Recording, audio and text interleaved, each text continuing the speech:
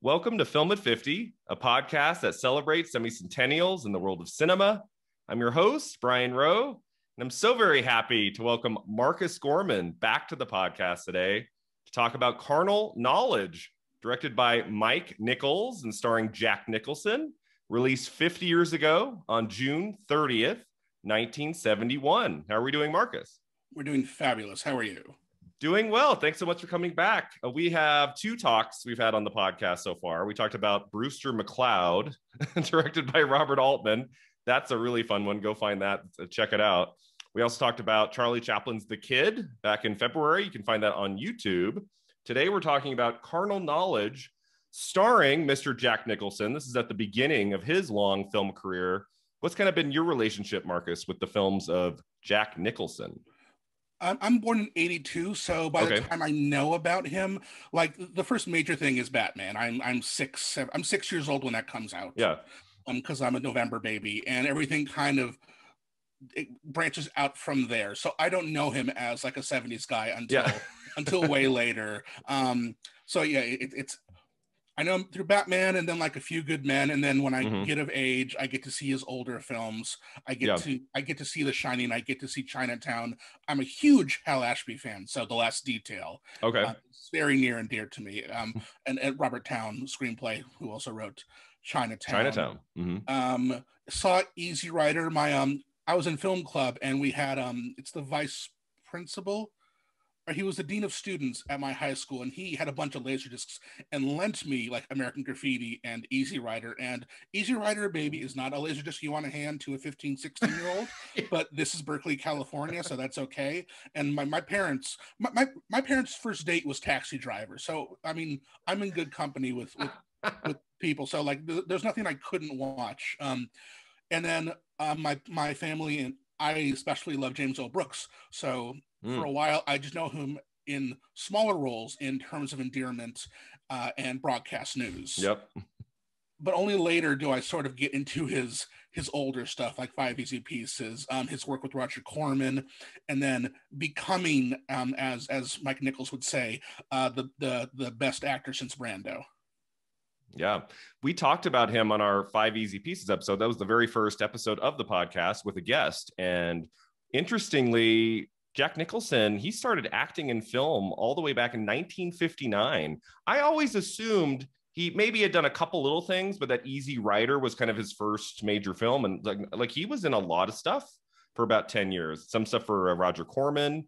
He showed up in this, like, I think it was a Vincent Price movie I watched in one of the Scream Factory Blu rays, yeah. like an early 60s film. And there's Nicholson, like, handsome as ever and i'm like oh he's in like yeah he's um, in these cheesy horror films from the early 60s like little shop of horrors from 1960 so yeah he was acting i don't know if he's ever going to act again marcus but his last credit is james l brooks again right and how how do we know how do you know from 2010 with Reese. Oh my god, that was after The Departed. You're right. Yeah. I had no idea he hadn't acted since then. It, it didn't even.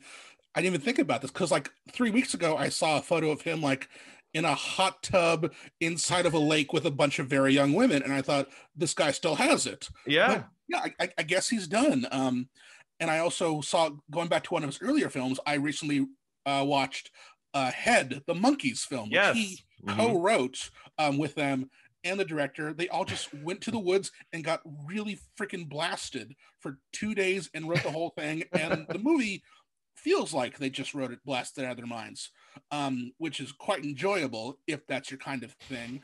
It is mine, but it's far and away not at all like the TV show that they were making fun of. Yeah, that was an excellent uh, Criterion Collection box set. I think it was called the BBS story, and the first disc was Head, and yeah, you even see, you, you, even see Nicholson briefly in the movie too, right? Like he shows up like in a shot or something. But that's Rafelson, right? Rafelson directed yeah. that. So that was yeah. an important film for Nicholson to come on board because then Rafelson would cast him in Five Easy Pieces, and and, and that and, was like just a breakthrough, terrific lead performance in a movie that he had had not had before. Right? Totally, yeah. Rafelson made all this money with his partners on the Monkees and then kind of recreated American cinema. Not really intentionally. He was just doing whatever he wanted. He had yeah. the money to do so, and now we revere the '70s. Holy yeah. crap!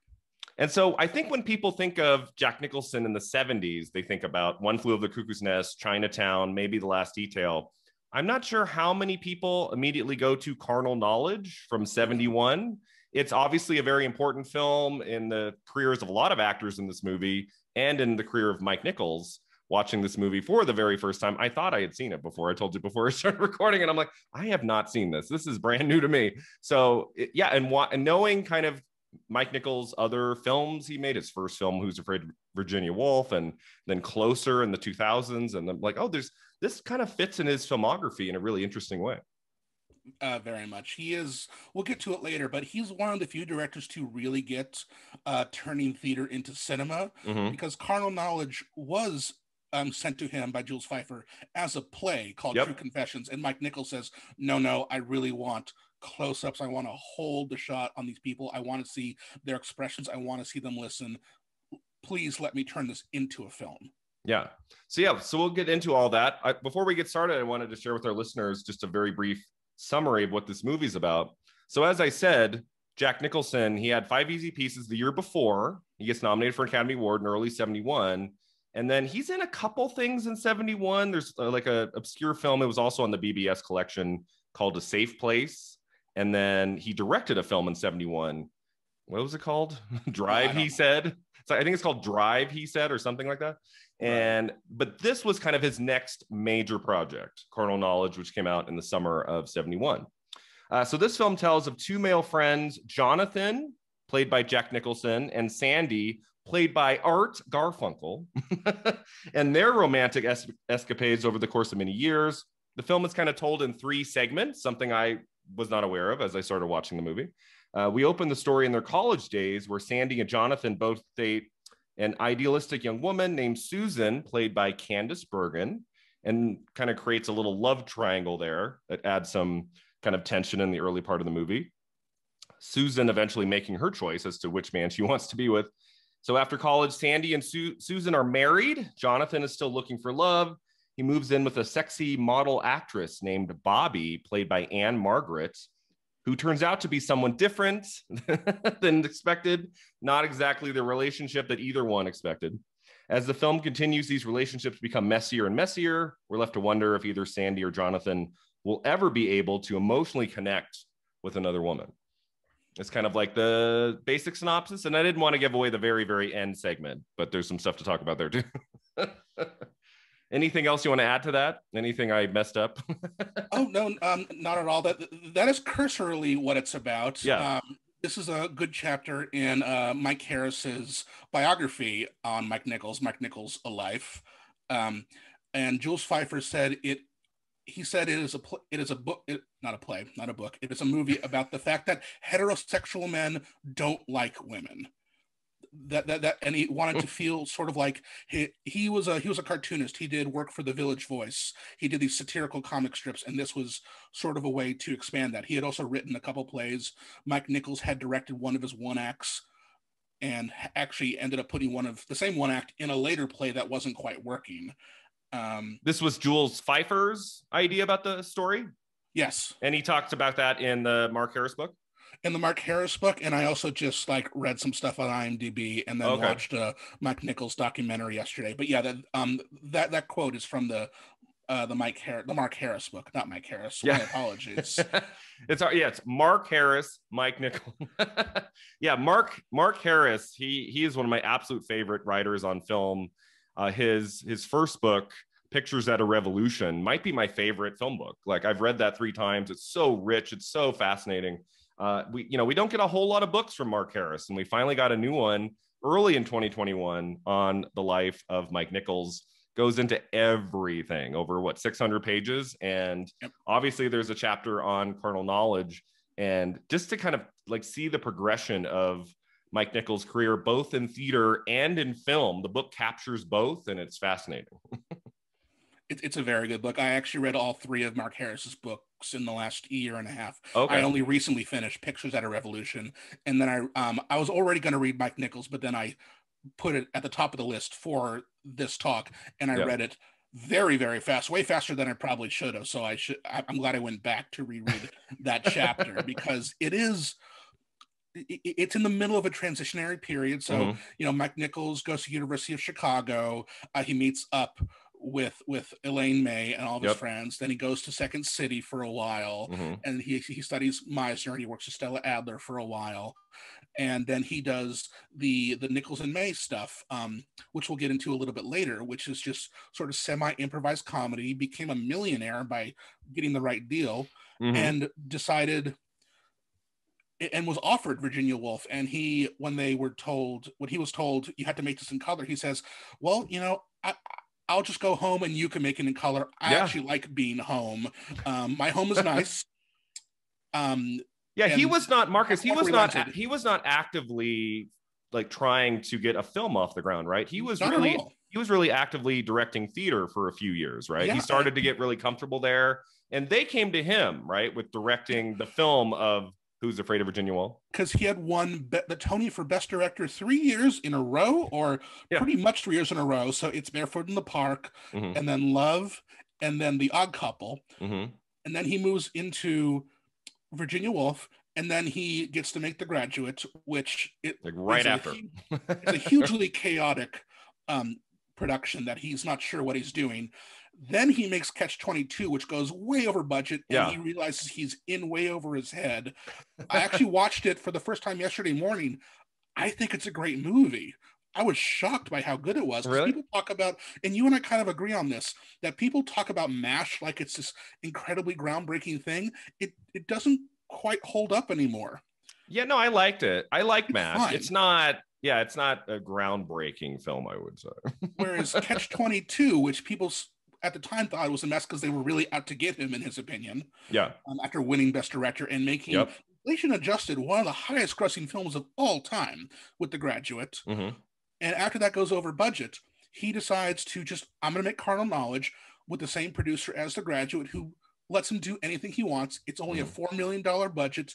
They go to Vancouver, they shoot it really fast. Um, Mike Nichols tells everybody in the cast, do not smoke weed during this. It, it'll, right. it'll, it'll, it'll cut it'll cut down your timing. And Jack Nicholson, who claimed he had been high every day for 18 years, said, "Oh, he's right." Candice Bergen says it's the most sensuous set she's ever been on because they were just so relaxed. They did French hours. They shot from like 11 a.m. to 5 p.m. Oh, really? hung out in the hot tubs and had great food for a while. Um, and everybody's banging each other. So, yeah, so it's Vancouver as New York. This is all set up to, oddly, this is him making a relaxing movie. The movie is not relaxed in the slightest. yeah, and this is his last kind of critically acclaimed film for a while, right? So after Carnal Knowledge, he directs The Day of the Dolphin, which I remember was one of my favorite chapters in the Harris book. It was really interesting Oh, about the failure of that movie. And then he does The Fortune again with Jack Nicholson and with Warren Beatty, which you think those three would make something spectacular. But I have not seen The Fortune. Uh, have- can you comment on The Fortune? What's that one about? It, um, 75. I would say it is my least favorite of his movies. There's Really? only Okay. I'm looking I'm looking at his stuff now. There's only three um hold on, let me put these in in the proper order of my ranking. Okay. Yeah, he doesn't have. about. He doesn't. Yeah, Mike Nichols does not have a ton of movies. It's not. He's not like a movie every year kind of director Well, he, he has 21 movies. There's 21. Only, there's only three and a half I really don't like. The Fortune should work. It is a mess. So the thing about comedy, especially like in the 70s and 80s, when something isn't working, you can tell because everybody is screaming their lines. This is also this is also a theater problem. So Yeah. everything that he thinks is kind of funny, it just lays there. And it's about two con artists in the 20s. So it's Warren Beatty and Jack Nicholson oh, it's set in the torturing twenties. yeah, s- torturing Stockard Channing, who is an heiress, and they're trying to Mm. get her to either kill herself or get killed. Mhm. Um, but Mike Nichols, as much as I, I I love his work, there is sort of a male gaze to his work, and he hmm. doesn't always quite get women yeah, unless it's starring Meryl Streep, who's the person who challenges him. yeah. Who really got him back on? It's a huge mess. Yeah. Huge mess. Meryl Streep finally gets him back on track a little with his film career when he comes back with Silkwood in '83. But we will talk a little bit more about. I'm so Nichols sorry. No, no, no. That's fan- like no. I wanted to kind of touch on his film work in the '70s when we look at Carnal Knowledge because, as I said, this is kind of his last acclaimed film for a while. Uh, so let's see some other some other research I did. Uh, Mike Nichols spent six months looking for the right actress to play Bobby, settling on of all actresses Ann-Margret, which I, am assuming in like 1970 would not have been the obvious choice for that role no. of Bobby because she um, was no longer getting the sex pot roles. Yep. She's 29 at this point, and she's making European action and heist films. okay. So so he he goes to Jane Fonda first, and Jane Fonda turns it down and says they want me to play a character with a 40 inch chest. I, am weird. Okay, fine. Wow. I'm gonna go make Klute. She goes and makes Klute. Gets the Oscar. Yeah. Ann-Margret gets nominated in supporting actress. Yeah. Um, we did, yeah. we just talked. We just talked about Klute on the podcast uh, two weeks ago. That episode will have dropped by now. And Jane Fonda is so extraordinary in that I cannot picture her in Carnal Null. no, and and and so it was also he also looked at uh, Karen Black. Yep. Um, from Five Easy um, Pieces. Five Easy Pieces. He actually Jack Nicholson brought her because Mike Nichols looked at um, Jack Nicholson in Easy Rider and said, okay, Jules Feiffer, I know these characters are Jewish men. This guy is not a Jewish man, but look at his performance in here. Jules Feiffer says, Are you sure this looks like a crazy person? He's like, No, he will be the best actor since Brando. Trust me on this. So, so. So Mike Nichols was not on board with Nicholson from the beginning on Carnal no, Knowledge. He was Feiffer. Kind of, Feiffer, oh, Feiffer was not on board. So, so Nichols wanted Nicholson, but yes. Feiffer was like, "Are you crazy?" yes. Well, and they decided that they decided that since since it's written by a Jewish man and directed by a Jewish man, okay. they could. It doesn't have to be so enclosed in their own understanding of, of, of humanity, and they need this guy from Jersey with the the sort of the sort of drawl to to open it up. So he brought over Karen Black from Easy Rider. Okay. Mike Nichols thought she just wasn't right for the role, and certainly not physically built right because uh, Mike Nichols, like I said, does have a female problem. He recast Cate Blanchett in Closer because she was pregnant, and that was a shock to right. Mm-hmm. Um, with Julia Roberts, right? With Julia Roberts, mm-hmm. who, and it's actually I think the best Julia's ever been. Oh, she's great in, in Closer. It's been a while. and he also it. he also offers it to Raquel Welch, or he th- considers her. He also considers Ellen Burstyn, who almost does it, and then turns it down. And then when she sees the movie, said, "And Margaret." God, it's so much better than I ever could. Thank yeah. God they cast her. So Ann-Margret's agents reached out to Mike Nichols, said, okay. please let her do this. She's an actress. Believe in her. And it works. It does work, which we Holy will talk about. yeah, she, I, you know, I I've seen some of her later films, like Grumpy Old Men and some of those from the 90s. And then in the 60s, I think the only thing I've seen Ann-Margret in is like an Elvis movie I watched in Turner Classic Movies. Viva Las Vegas. Viva Las Vegas. Which is Elvis's best movie. Um, well, a lot of fun. But when I see her in her first scene in Carnal Knowledge, I'm thinking Viva Las Vegas. And I'm like, okay, interesting. I I had looked it up that she had been nominated for an Oscar, and I'm like, okay, where's this going? Yeah and then as we'll talk about the big fight scene, it's like holy shit. yeah, she she is wonderful in Bye Bye Birdie, but I can see why okay. people take her seriously. And then after this, she makes Tommy, and she gets an Oscar nomination out of that, and she is also great in Tommy. Um, do a not film I have not seen. I need to see Tommy. I'm excited. It's cr- watch watch all of Ken Russell's musicals. He's Ken out Russell. of his mind. Love him, love him, love him. Is he on drugs? Of course. Um, is, it, is he the director of The Devils, which came out in 71? Yeah. Okay. I'm like considering doing an episode on the Devils, so I think I might. Oh, might you better. um, although, although, the director's cut just just left Shudder recently. Oh, there was a there's a director's a cut. Okay. Oh, there. The, the, the, um, that is a heavily cut feature. Okay. So I'll you'll like if I do that episode, Marcus, I should do it on the director's cut. Like watch that version. Yes, and and in addition to the director's cut, there's an additional sequence that was that's not even in the director's cut because it's like X-rated. And oh, okay. I I have that somewhere. Oh, you do? Yes. You have the only copy of the excise? No, no, no. no it, it's online. That's awesome. Yeah, so I'm going to take a look at that. Uh, do you know how Candice Bergen or Art Gun Art Garfunkel came to be in the movie? I could not find anything about that.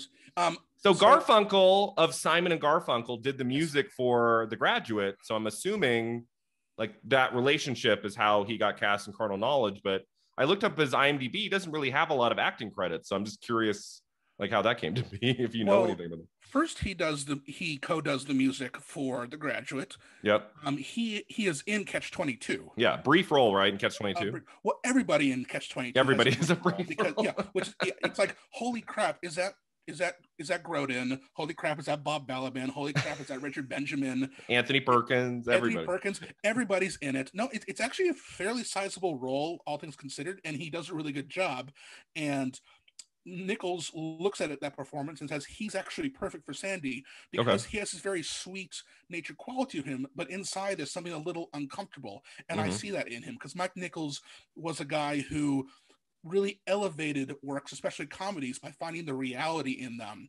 Um, Mhm. Every every piece of direction he did was trying to find something that he could relate to, and ergo the audience could too. That's why we think of these Neil Simon plays as silly, but Mhm, his versions of these Neil Simon plays are actually like these weird little dramedies mhm. that are and done the right way neil simon's work can be very gutting and personal done the wrong way it's broad and silly and a bunch of one liners which is how most people think of him now which is totally fine because it's a very male-centered point of view so Yeah. that's how we got to art garfunkel and thought he was perfect because art garfunkel and jack nicholson are foils to each other in a Mhm. very good way Mhm. Candice Bergen, he had met and considered casting in The Graduate, so they had been friends. Right. Okay. hmm And she And- was and really pro- she's really prolific around this time. She has a bunch of credits. I want to say in 1970, she's like got four of them. So she's very much in demand and is a welcome presence in this movie as well. It's kind of fun to see her. I mean, I you know she's been in projects just recently. She just did a film with Meryl Streep, Let Them All Talk by Steven Soderbergh, which I watched a few months ago, which I enjoyed. And to see her 50 years ago in this movie was kind of cool. Yeah. All right, so let's see what else. The scene in which Sandy takes out a condom while in bed with Susan was the first time a condom had ever been shown in a film. Yep. that kind of struck me as it like 1971, like before that year, there had never been a condom in a movie. That's crazy. So when Mike Nichols went to Jules Feiffer and said, "Can we make this a movie?" Jules said, "Are you sure we can't get away with any of this language in a movie?" He's like, "I made The Graduate." I made so so in Virginia Yeah. Woolf, um, they went back and forth with the censors a lot, Mhm. and then finally the um the the the, the motion picture the, the board the Hays Code said, okay, this is fine because it's artistically sound, but that was one of the many movies that cracked open the Hays Code, which Mhm. officially killed it in 1968 after being around for 34 years. Then Mhm. he makes The Graduate and gets away with showing breasts for a split second. Very split second. it- it's when Dustin Hoffman first sees Yeah. Um, Mrs. Robinson naked, and he Mhm. says, and he goes to Feiffer and says, "I made The Graduate. We can do whatever we want," implying that it's a new world. But also, Mike Nichols is sort of an arrogant person, and he, and and that's what actually makes this movie so good. Because, in my opinion, after reading the biography, he sees a lot of himself in this because Mhm. he is good with female actresses, but we, other than his marriage to Diane Sawyer, which does not get a lot of of of, Room in the book. Yeah. um, because I'm sure they're like whatever. I'm sure Diane Sawyer is a private person. He Yeah. has two or three marriages that fall apart immediately because he would rather work than be with his kids and be with his wife. hmm So he, like Mike Nichols, kind of looks at this film and says, "It would be so easy to become one of these men. Maybe you already have." hmm Yeah, that's that's something so interesting about Carnal Knowledge is that just a few years before, he's kind of being censored a little bit in those first two films, and here in '71, now he can show more, he can do more things, but I don't feel like he ever goes too explicit here. I think like the nudity in Carnal Knowledge is, has a lot of taste to it. Like Yeah. he does it in, in a very cinematic way. He's never like preying on Ann-Margret's body in a way that's like like seems outside of the realm of like what the narrative is about. Like it always feels like there's taste there. I don't know. and he gets to work for let me get his name perfectly because it's italian giuseppe rotunno who is fellini and visconti's cinematographer so he Okay. he he brings in a little bit of that european sensibility Mhm. the european sensibility that also contributed to killing the motion picture code the production code Okay. because people like us 50 years ago were more interested in foreign films because they felt more real more adult Mhm. more in line with what society was Okay. Yeah. so he, so yeah, he he's at this point. Easy Rider has come out. Five Easy Pieces has come out, and the MPA MPAA is about to start. So they can do mostly whatever they want to a point because you say like you know it's tasteful nudity for the most part. It's not that explicit. But the guy in Albany, Georgia, who showed the film at this theater was arrested and they shut down the movie and it went all the way to the Supreme, the Supreme Court, Court yeah. who said, no, this is artistic. There's nothing pornographic about this. And then he opens it three months later and makes a crapload of money. The fact that people were pressing this movie because of its explicit content. Like there's a joke in All in the Family episode about it because Ethel thought she was seeing cardinal knowledge. Cardinal. Thought it, about, be about religion. And um and Archie's like, you know, that that that filthy film. So this was the filthy film. Like from our perspective, it's not it's it doesn't seem at all, but in 1971, this exploded people's brains. And the and the exploitation producer who produced um, The Graduate also produced this. So after it ran for three months in the best single screen theater in Manhattan, he moved it to the second half of a double bill at a softcore porn theater where it made a crapload more money. This movie played at This a movie. softcore porn theater. and the back half of a double bill. in the back. The, the, that didn't disappoint the audiences. No. They're like, this isn't what I signed up for. But like when I told when I told my dad I was going to be talking to you about carnal knowledge, he's like, "Yeah, that's a really controversial film. I remember that. It was it, it's all people could talk about." Really? So the summer of 71, it was like a big, like not word of mouth necessarily. You have to go see this because it's a great film. It was known as like the controversial major release film of, of summer of 71. Yeah, More I mean, so than like Klute. Klute, which also, I mean, it doesn't have very much nudity in it, but that's also about some controversial subject matter too. right. That, that- is about like the autonomy of sex workers in a way Mhm. that is revolutionary today. It's still ahead of its time, in my Mhm. opinion. Yeah, so that's interesting. So yeah, you touched on pretty much all my other research. I mean, we mentioned that it got one Academy Award nomination for Ann-Margret. She had won the Golden Globe for Best Supporting Actress. Nicholson and Art Garfunkel also nominated at the Golden Globes. Feiffer was nominated for Best Comedy, written directly for the screen at the Writers Guild Awards. And the film did pretty well critically. If you go on Wikipedia, some interesting, like some critics really loved it, some critics not so much.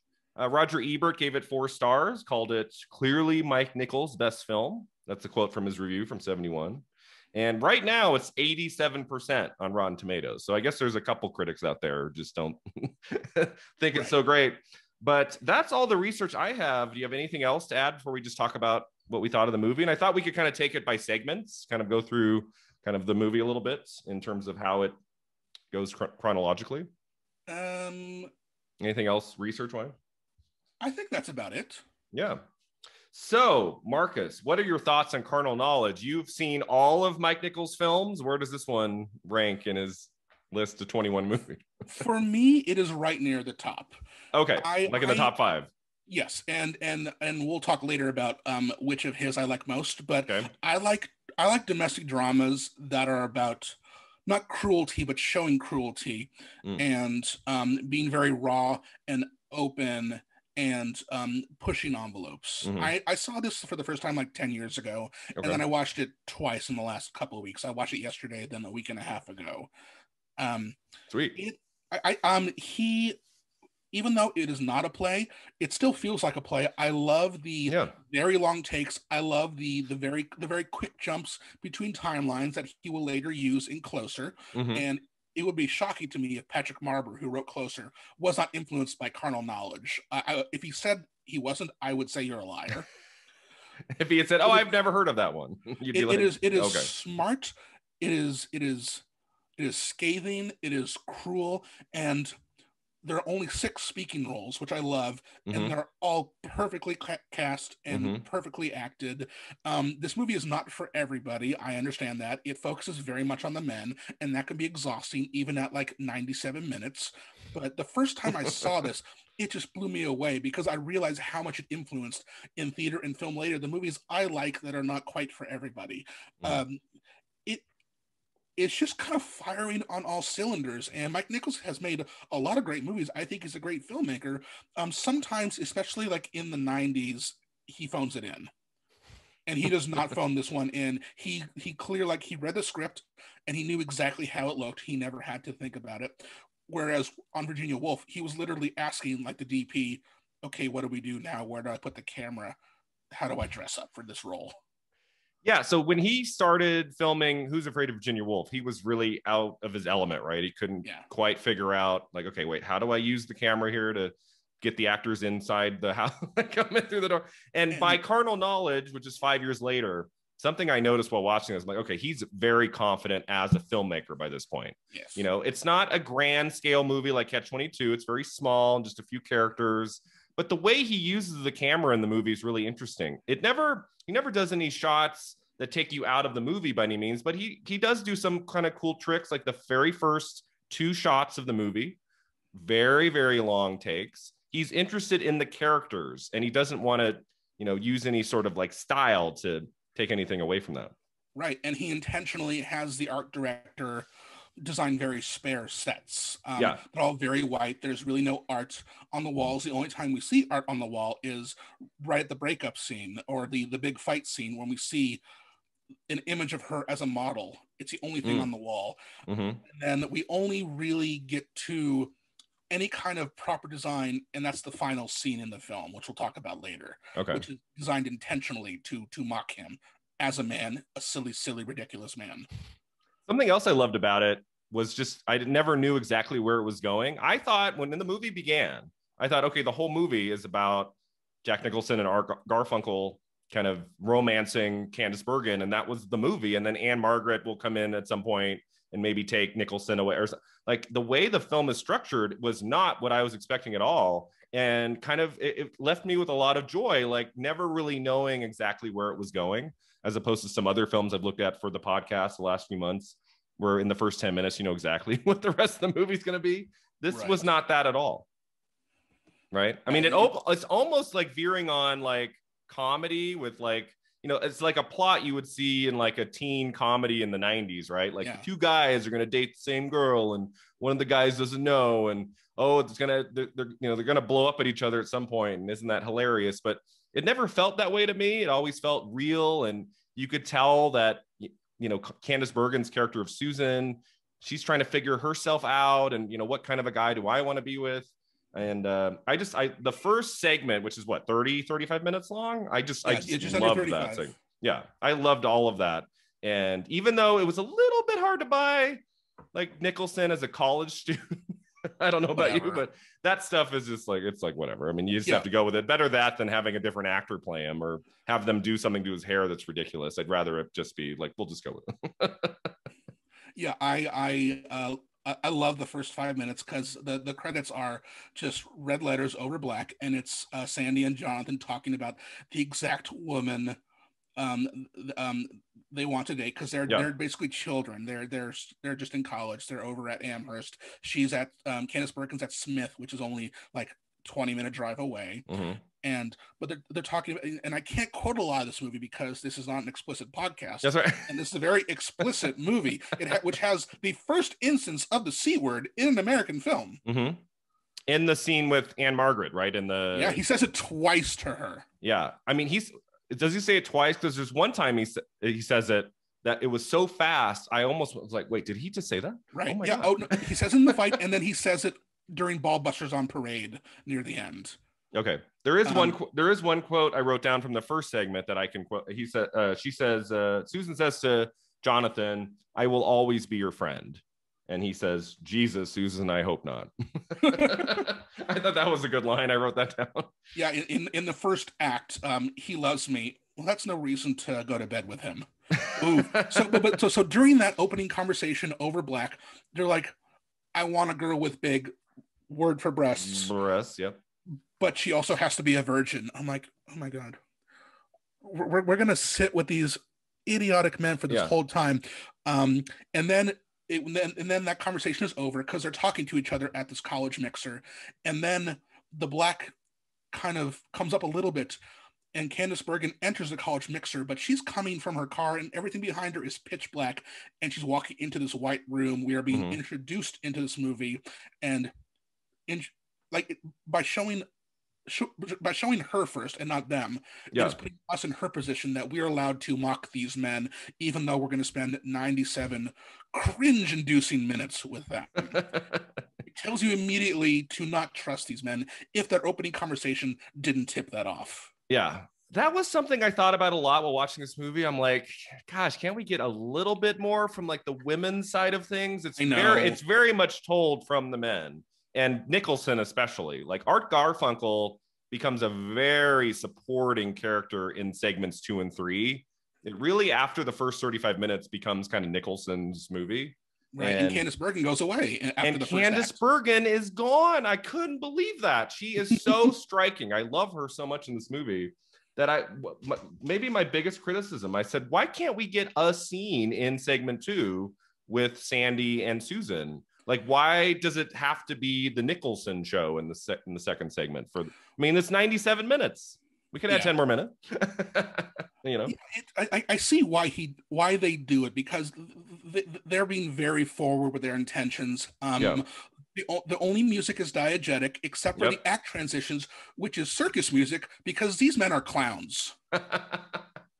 I didn't put that together. That's a great point. And it also sounds a little bit like baseball, especially during the end credits. It sounds like something like it's, it's an organ you hear at a baseball game, like it's all mm. a sport. Um, I understand why they would get rid of Candice Bergen because we've learned everything that the men know about her at that mm-hmm. point. Everything after is filtered through Art Garfunkel, True. saying, you know, like we actually have a great sex life. We don't make it a routine, but I'm a little bored. Can you know, your your woman, she has the figure. My woman has the brains. Why aren't we happy? Mm-hmm. Well, because we learn in Act Two. Um, not to jump ahead, but Jack Nicholson works in taxes, he only sees people as numbers, which yep. goes along really well with his character. And Sandy, Art Garfunkel, is a doctor. He sees them as things to fix, nothing more. Yep. I, you know, I get that. I just we we have so much material with Nicholson. I just wondered, like, one brief like fight scene or something between yeah. Sandy and Susan at their house we could have stayed with Sandy. We could have like, you know, gone from that scene to maybe a scene with Nicholson or something. I just I just thought there was an opportunity missed there because she's such a kind of a rich character in the first act. And yeah, you know, it would have been nice because it's it how, how many years forward is it when we go to segment two? Is it like 10 years? Um, or, or less he, than that? When they're when they're driving through New York, um, Nicholson and Ann-Margret, it's like 1961, if you can tell from the movies and shows that are on Broadway. And okay. they mention uh, Kennedy, so they get their timelines a little skewed. but yeah, it, it, it's 10, 10, 10, 13 years. Yeah, it's about 10 years later mm-hmm. when we when we leave them in Act One and see them ogling women at the ice rink. Mm-hmm. In Act Two, I under like um like consider that they have titles. So Act One is Susan. Act Two is called Bobby, Bobby and Act Three is whatever Rita Moreno sex. Rita Moreno. um, so so the thing is like we already see Candice, we already see everything that the character can do. We see her okay. controlling their sex mm lives and yeah. not being part of their game. She is always in control, and they don't know that because they think they're in mm-hmm. control. Because yeah. that's all they want. They want the chase. But then we see um, Jack Nicholson loses virginity to her on a pile of hay, and she looks very uncomfortable. That yeah, that is an awkward scene. I mean, I like that Nichols shoots that in one shot. Wasn't it just yeah. the whole thing was one take? Like he's just yep. on top of her. And this is, you know, 71. Like he finishes and kind of rolls over, and she's just kind of like looking up, and and it's a very raw moment in the movie that you. I mean, I'm assuming most audiences have not really seen in a film on the big screen before that summer of 71 and then um, we see her sort of get wise to what's going on and get a little less interested. We do see her yeah. like um, when they're at a bar, and what's really fun about this movie is it shows people listening. It mm-hmm. is so you say like yes, it's very much all the men talking, but we keep on seeing the women listening to them just to he makes sure that we know what he knows that these that these ridiculous men are just they they're children they have no idea what to do with these women mm-hmm. so when we see candice bergen laughing at all their jokes. It's all very performative. Yeah. And I thought that I thought that was one of the most believable shots of a person laughing in a movie. Right. Candice well, Bergen's laugh. And that's and they get into this in the Mark Harris book that he kept on having feeding like puns and word games to Nicholson and Garfunkel to make her break. And the second she broke, that's when he started shooting. Oh, okay. Very cool. Yeah, I forgot I forgot about that part. So, that's yeah. it's so fantastic. Nichols likes to he doesn't play games with people, but he knows how to get into their their sense memory. He says, you know, this he, he learns a lot about a person and yeah. says this is a lot like. So Candice is a friend of his. He knows what'll make her crack, and he follows that. Um, and he also likes people to be very emotionally intimate with each other. Um, before a show opens on Broadway, he will have them sit down in cots in the back of the theater in the dark, sitting next, lying down next to each other, like inches from each other, and have them speed through their lines. So, like listening to people, well, they'll just go really people, fast. yeah, um, yeah, the Italiano style is it's, it's what it's, it's what it's called. Um, but like if you're actually breathing with somebody and feeling their rhythms, that is actually an old theater trick that people mm-hmm. use nonstop now. So he does that a lot here too. So while Candice Bergen would show up in Act Two, we already know everything we need to know about her, and yeah. it would it would honestly lower my respect for her character if we saw her in these crushing positions. That's true. Yeah, I mean, there is something to be said women. about there is something to be said about just kind of seeing her at this part of her life, and you know, the second segment is a little bit it's about different people different subjects so yeah i mean i can see both sides of it so that yeah that does make sense i totally get it like yeah go ahead I totally get it. Like um, the, when I the second time I watched this was with my wife, who had the exact same complaint because right, you know, she she loves these, she loves movies, she loves you know nasty movies. This movie clearly has um, influenced Neil LaBute, and she really likes his oh, work yeah. as well. Um, and we'll get into that a little bit later. Mm-hmm. But she mm-hmm. has the same complaint. Is like this is all men. She would prefer if we have a choice between movies about or directed by women or movies about or directed by men, she will always choose the women because it is still a minority, especially in American film. Mm-hmm. Absolutely. One other scene I wanted to mention the scene with the condom. For me, that was the most uncomfortable, one of the most uncomfortable scenes in the movie is him pressuring her to have sex with him was very especially in 2021 that scene i don't know about you that just i was like okay this oh, it's rough. He, he's like no let's do it she's like no i'm not feeling it I'm, I'm okay. And he's like, no, no, let's, I, you know, I have protection. Let me, let's do this. And that says, scene, how, long has it been there? He's like, not, not that long. Yeah. How long? What doesn't she say? Like, was it been there for 10 years?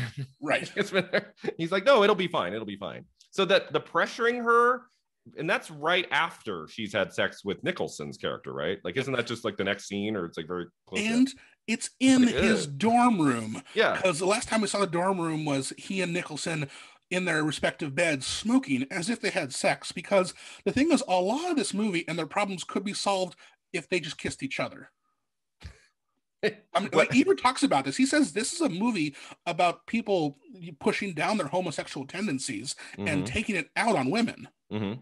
Yeah, I did wonder. I was like, why can't Jonathan just go after any other woman? It's like if he doesn't she, want, he to. has to be in the like realm of his best friend, and that there was a homoerotic element to that I was kind of thinking about while watching the first 35 minutes of this movie. Oh, it's there. It's there. You know, absolutely. Anything else in the first segment with Bergen? I, as I said, I thought she was great in this.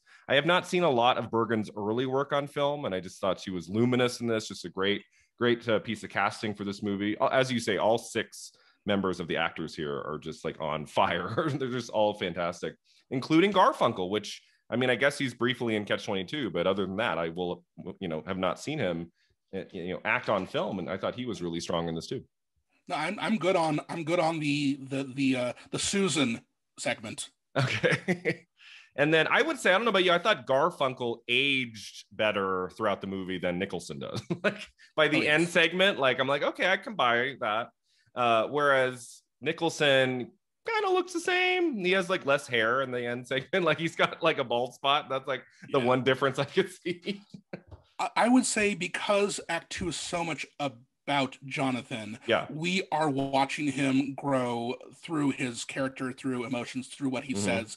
Whereas we're only checking in on Sandy after part one. Yeah, so yeah, exactly. it has to be it has to be clearer, costume and styling wise. yeah. So yeah, Jonathan a little bit more reserved in the first act, and come the second act, we you know it's so funny watching these early Nicholson films. Like when I think of '70s Nicholson, I think of like crazy manic guy, especially in like Last Detail and One Flew Over the Cuckoo's Nest. Not so much in Chinatown; he's a little bit more reserved in Chinatown. But uh, you know, the first half of this movie, you know, he's pretty reserved. But then, if you're looking for the Nicholson we've seen in other films, we do get to see it by the end of carnal knowledge. So, what do we think of segment two, bringing in Ann-Margret in, into this movie? Well, he he is searching for a trophy wife mm-hmm. he, or just a trophy woman, and he finds somebody and then realizes he cannot handle her depression and vulnerability. To him, vulnerability is is, is weakness, which is Weakness. not true in real life. Um, and he just can't handle what a woman actually is, only the Mhm. idea of a woman. Nicholson's character is constantly showering throughout this movie, and he's always trying to present himself in a certain way. And we'll get to the big fight, which is the centerpiece of the movie. Mhm. They, they all knew it at the time too. But while that scene is happening, she's still in a very state of undress. As he gets madder and madder at her, he's putting on more and more clothes. He's putting on his shell, putting Uh-huh. on his costume, his disguise, because he is done with everything here. Mhm. Part two is, you know, if you are not on board with watching people be horrible the way I kind of like, Mhm. then this is when you turn off the movie because you know um, we go to them um, sandy and jonathan at the ice rink just talking about hot women talking about women as objects as conquest and not as people Mhm. um, and then and this and they, they they redo something i love throughout the movie is that they are looking down the barrel a lot of the time during monologues they're looking directly at the camera um, there is no way around it you cannot avert your eyes at all you Mhm. are they are making you complicit with these horrible thoughts because this is something and somebody we can become if we're not careful. That's a good point. That yeah, you notice that. You do not see that in movies very much when a when a character is talking to another character and they're looking directly at us through the camera. you know, it's a trick that's been used a little bit. Like I think of like Misery, and there's some some films that do it in a way like Sounds of the Lamb. Sometimes like like like more suspense films can do it in a way that's really creepy. But just in like a in a film like this, it's not something you would normally see. So that was kind of an ambitious choice by Yeah. Nichols to do that. I um I love when he when we first see him with Ann-Margret, they are the idea is that they're in the spinning restaurant, probably on top of the Marriott Marquis in Times Square, but it's clearly a set that they are stationary um at their table. Everything is spinning around them because it's it's this Yeah. Carnival Whirlwind. He is in love with the idea of it. They bring this back with the wallpaper at the end with Rita Moreno that he Mhm. only feels this when he's elated, and then it cuts to them in the in the taxi cab as you see like West Side Story on the marquee behind Mhm. them, and and maybe this is just me, but every time they are in the darkness because it keeps on putting them into pitch black darkness in the cab, they are they are vulnerable and open to each other and honest, and then when they go into the light again, they play characters again. Interesting perspective. Yeah. I mean, there is something kind of dreamlike about that shot when the camera's just slowly kind of moving around their table. Is that Yeah. the scene where she he's trying to guess her age Right. at the dinner? And, and he, he guesses just for keeps like going up, up, up, up. freaking It, minutes. it takes like two, two and a half minutes. I mean, it's like it's so silly. 23. No. And she goes, "You skipped 23." Oh, no, yeah, "Oh, that's right. You 23? skip, you skipped 20. You skipped 23. Well, are you 23? No, No. because she's just enamored that I guess somebody wants to know more about her than just her body, which is not Uh. true. We find out Yeah. um, because he throughout the act starts to remove everything. Um, she's like, you know, maybe I don't go to work. He's like, why do you want to go to work? She's like, I don't. I hate it. He's like, I make plenty of money. That's fine. Quit Yeah. your job. And then the next scene, the big fight is that she has no job, Get out of the house. Get out. sleeping 18 hours a day. And she she says it might soon it might get to 24 hours. That's what she said. Oh says. my god! 24 hours a day. And then and then she tries to make it 24 hours. Exactly. Yeah. The very the reveal at the end of this segment. Yeah. So Ann-Margret is just such an un- unusual choice for this role. I don't think it was, as I said before, not your go-to casting choice, especially thinking about Nichols going to, you know, someone like Jane Fonda, which is just like so different from somebody like Ann-Margret, and that he was looking for six months. This is ultimately the person he goes with.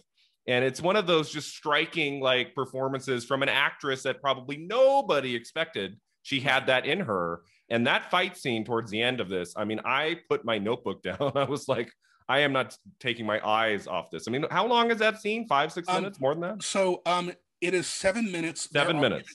before Sandy and Cindy knock, Okay. and then and then it's another nine minutes of her, Yeah. of her in the background, and we don't Yeah. know what she's doing. But right up until uh, so in Act Two, while Ann-Margret, so we're showing her she still has control, although Mhm. Nicholson has more control now, so they're more evenly matched. So we think she's going to be like Susan, like Candice Bergen, and be in Yeah. control of these idiotic men. But then she starts to lose it because he is putting these ideas on her, these images, these visions of women onto her that he wants to be the breadwinner, Mhm. and it takes her down. And he thinks she's not strong enough. Meanwhile, Art Garfunkel, in the meantime, has left Candice Bergen and is Mhm. dating Cindy, who we first see at the tennis match, which is the most symbolic thing they could possibly do. So thank God they don't show it. They show the women watching it and watching Yeah. these men fight over symbolically women Mhm. when they're like, we do not need to be fought over. We are autonomous human beings. And especially Cindy, as we find out later.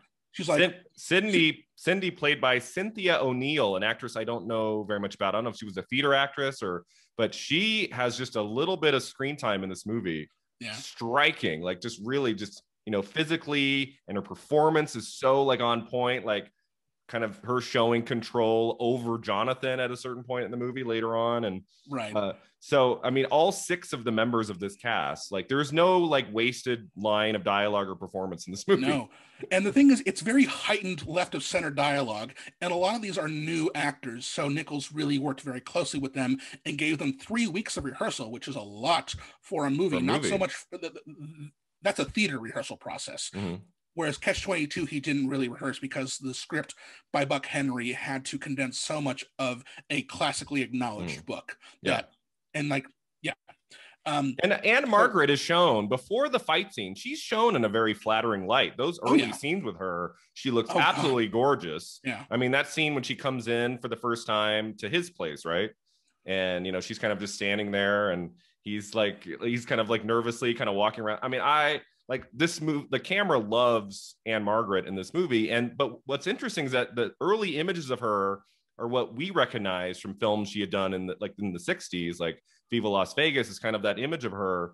But then we kind of strip that all away for that fight scene where we get to really see a different side of her, which makes it so interesting. Well, and then in between that, so Yeah. like, you know, he takes her home, he puts his head in her bosom like a child. She's like, Mhm. oh, good, I'm in control, you know, saying like, this is my son. And then later, like, you know, she's she's laying naked, face down on the bed. He's in the shower and he calls her over. Um, so it's showing it, the, the one time we see them like truly in love is when they are both literally naked, Naked. stripped of everything, stripped of all their disguises. And then, you know, she goes into the shower with him and, and they're play acting. And then the next scene, we see them screwing, basically. They're not making love.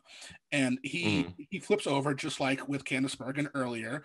And then she sits her back against the wall, kind of smirking at him while he's saying, I refuse to be married to you. And she's like, okay, fine. So she's letting down her guard that, okay, I love this man, but something's off. Mhm. And then it cuts to him the next scene smoking a cigar after she calls him a prick. Sorry for the, the swearing on this, um, which is a lovely cut because there's that symbolism again. And he's like, you know what? Maybe I will shack up with this woman. Mhm. And it's when he does that that everything starts to crumble. And we Mhm. get to the scene, Mhm. the scene that Jules Feiffer thought was almost too tough to do. Mhm. Um, and Mike Nichols realized later on was very close to fights he had had with Pat Scot, um, his second or third wife. okay. And then, um, so we, we can just get into the scene if you're ready. Yeah, let's get into the fight. So, Okay, so I so- believe from my research, it took a week to shoot. exactly. And by the end of the shoot, both Nicholson and, and Margaret had lost their voices. yes, um, because yeah, this is a scene you have to do for a week because they are both in separate shots. They rarely sh- share a shot together. Yeah. which is also symbolic, obviously, Mhm. um, because they're in separate worlds.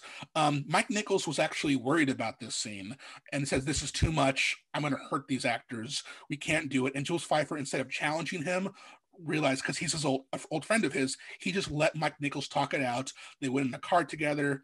They went to uh, um, dinner together, and Mhm. Mike Nichols just kept on yammering, and Jules kept on going, "Uh huh." Sure, that's interesting. And by the time they got to the end of dinner, Mike Nichols talked himself out of it in a way he never would had he been challenged. Interesting.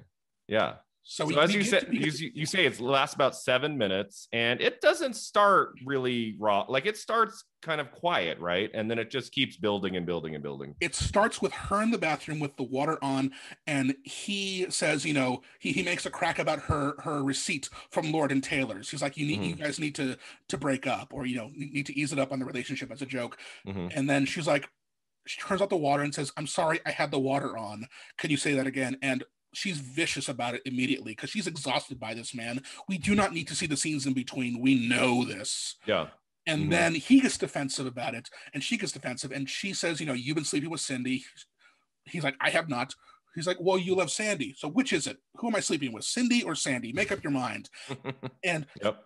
and at that point, she realizes she no longer has control, and they really get into it. Nicholson has to do like four different kinds of of argument, and he nails each and every one of them. Mhm. Um, and it, I don't know if these if a scene like this had been in a film, an Mm. American film in this way.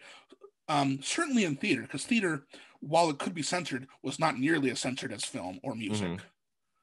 Yeah. Um, and I know that like you say like they both lost their voice at one point um, in Ann-Margret's um, half of the setup.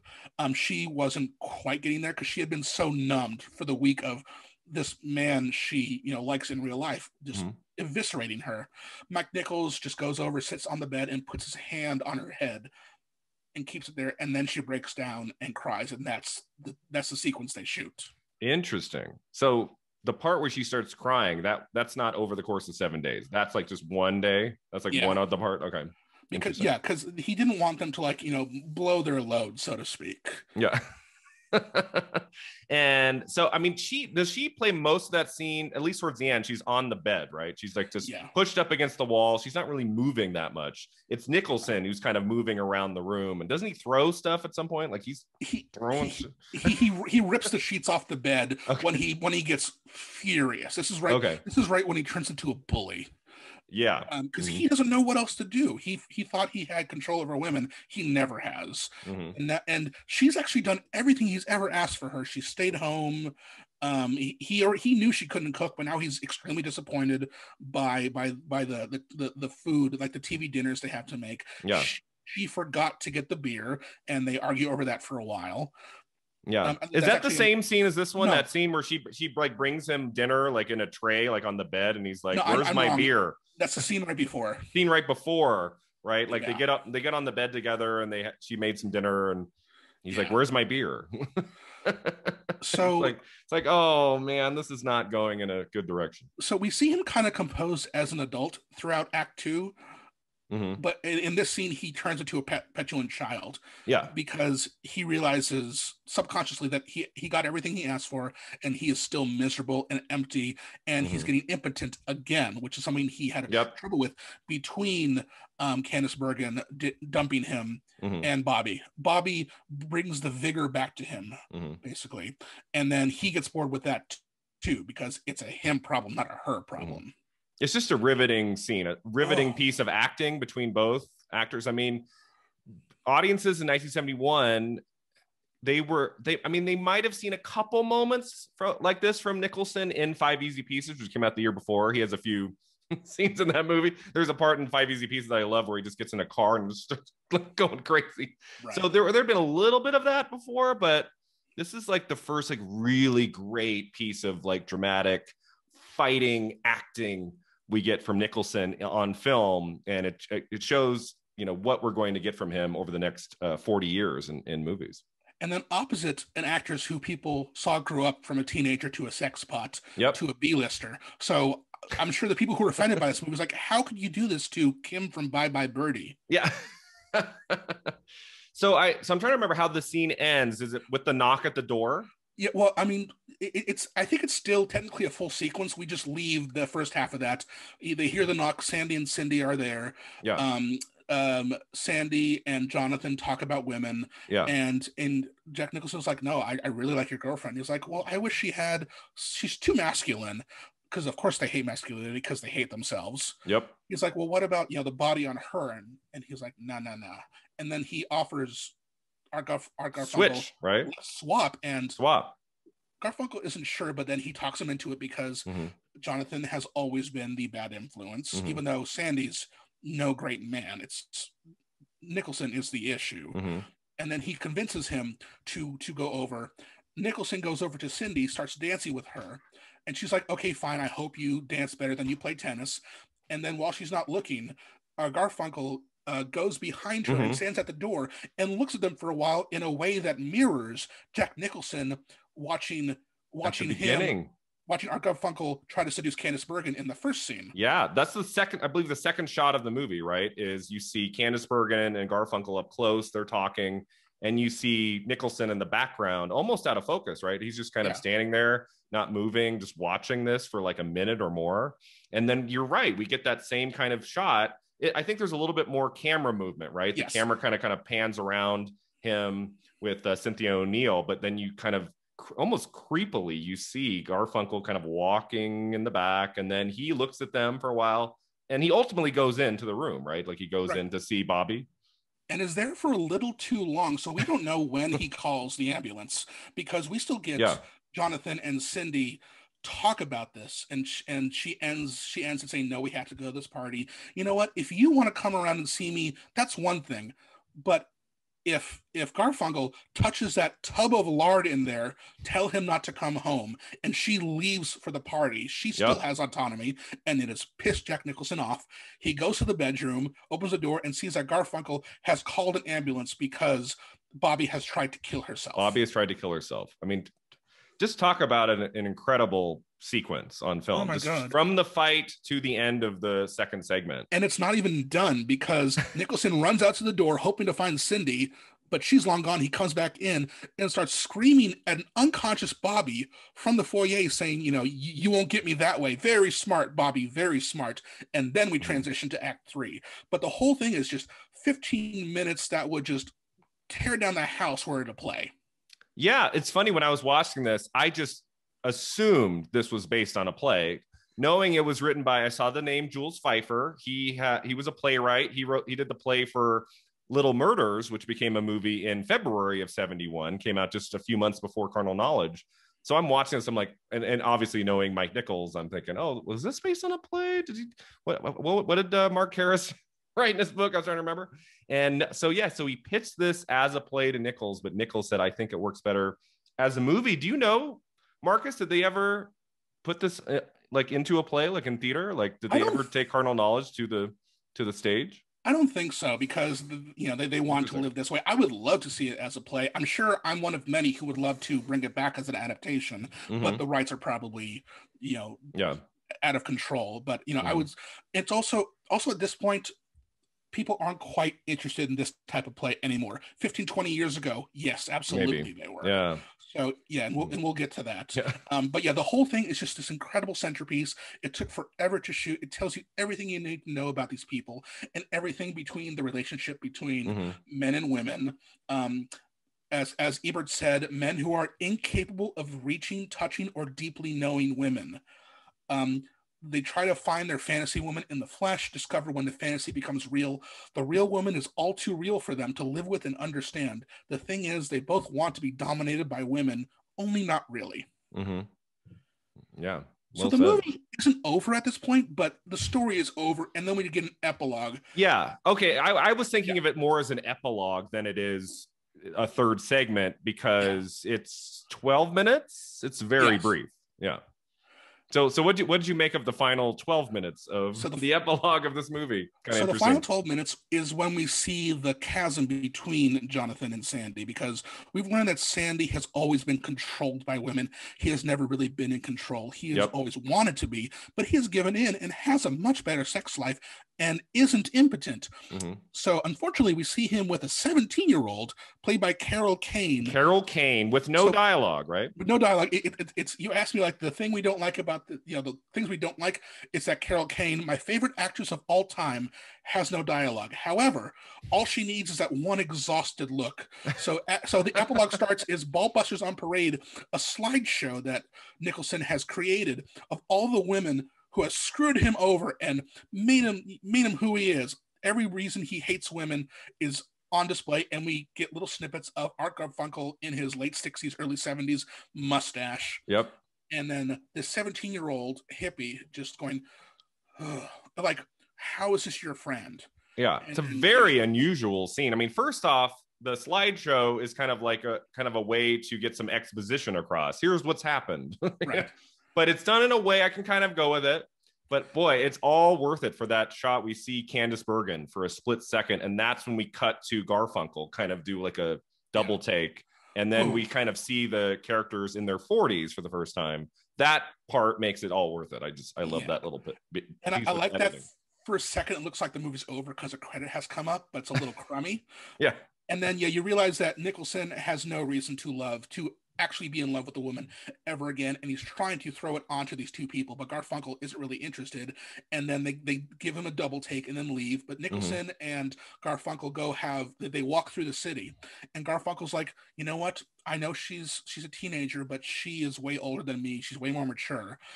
Once again he is being controlled by a woman. The women aren't like angrily controlling him. He just wants to be subservient and and dominated by these people and that's what makes him comfortable mm-hmm. he has unfortunately you know gotten divorced once and clearly broke up with cindy but mm-hmm. he seems happy um, whereas nicholson has become fully a monster he tried to give himself to somebody to give himself to bobby and he screwed it all up but can't can't mm-hmm. take credit he, he can't take responsibility for it so all he can do now is go see a sex worker played by rita moreno and forces her to follow a script so he can get hard. Exactly. It is one of the most unusual final scenes of a movie. I and I it. loved it. I mean, I was I saw her credit at the beginning, Rita Moreno. I'm like, oh, I wonder what who she plays in this. And we're getting to the last like six minutes. I'm like, where's did I miss Rita Moreno? Like, oh my god, I'm lose Brian, you were losing it. and then oh, okay, she's in the last scene. And uh, yeah, I love that shot of them walking at night. You see like the like the buildings behind them. So like a beautiful shot. There's so many. I mean, this is not a movie that you would normally think of as like being shot in a really memorable way. It's not a movie. I mean, it could have just been very just camera on sticks, nothing of interest. There's some really gorgeous cinematography in Carnal Knowledge that I really like. And we get to the last scene. And speaking of an, of an amazing shot, the shot of her talking to him as the camera slowly goes lower. I mean, that must go. Um, does that go on for a minute and a half, Marcus? Uh, and she's always getting lower. I'm like, how is this? How is well, there more room for her to get down like uh, at his knees? I mean, it's crazy. It's, it's the only other like truly symbolic um like magic fantasy shot because the first one is a rotating restaurant yep. the second one is rita moreno she's not moving the wallpaper behind her is being cranked and cranked oh, interesting. That's yes. how they did it. Though they're yeah, it, it's, it's, the... a, it's, a, nice theater trick, and and that's the thing because we, because he thinks he's in a fantasy world, but she's giving him this this this speech that he's planned for her, but she so clearly despises him. Um, she's like she's probably going to call up her sex worker friend who she shares the apartment with and mm. says, "Let me tell you about this freaking guy who makes me do this. He pays me. It's fine." I just need to make him feel better about himself, but mm-hmm. I have control over him. He does not know that because he yelled at me when I got the dialogue wrong. But in the end, I have the control. and you can tell that set design wise because of the never ending wallpaper as she lowers herself onto him and mm-hmm. reading him for filth, and he doesn't know it. Mm-hmm. He's in hell. Yeah. No, I mean, I feel like we leave the movie in a way that it shows like this is what he gets for the way he's been acting the whole movie. Like he is in his early 40s and he is alone with nobody. in a very white apartment. When we get to hers, we finally hear some music that's interesting and not like from World War II. Mm-hmm. And she's playing like the sitar music and everything's new age, new, beautiful. Mm-hmm.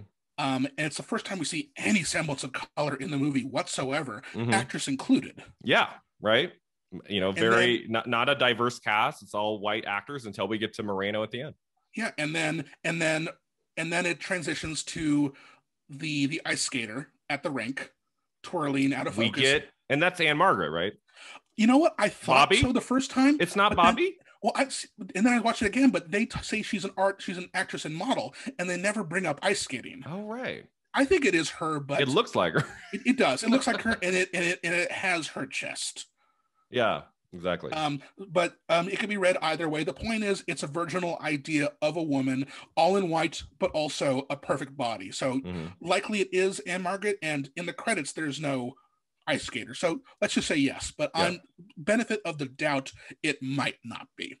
The point is, it's the ideal image of what Jonathan wants from a woman, mm-hmm. and then it then it plays this silly ass circus music, and then it's over.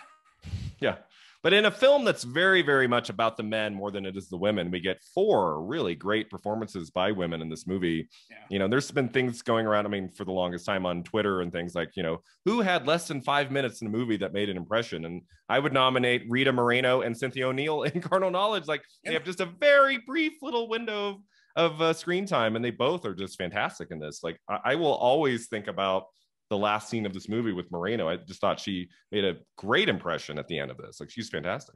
And there, uh, I think by the time this comes out, the Rita Moreno documentary will Ooh. be available, which we played at SIF.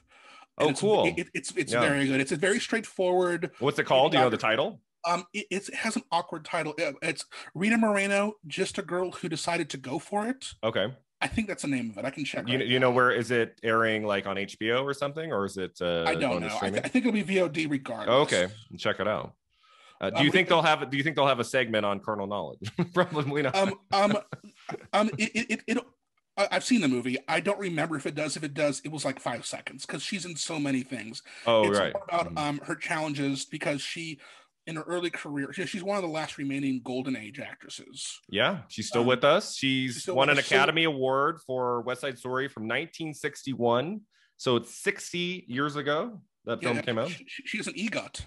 EGOT winner. Yeah. Um, it- and she's a she- part of, she's in the new Spielberg West Side Story coming in December. Yeah, she's playing Doc. They rewrote it. Her character's name is Valentina, I believe. Oh, okay. Very cool. Kushner, who knows Mike Nichols? Tony Kushner, who obviously, uh, I mean, they work together. Do they work together more than just Angels in America? I Just know they did Angels. Angels in America, also as a tie to Nichols too. Yeah.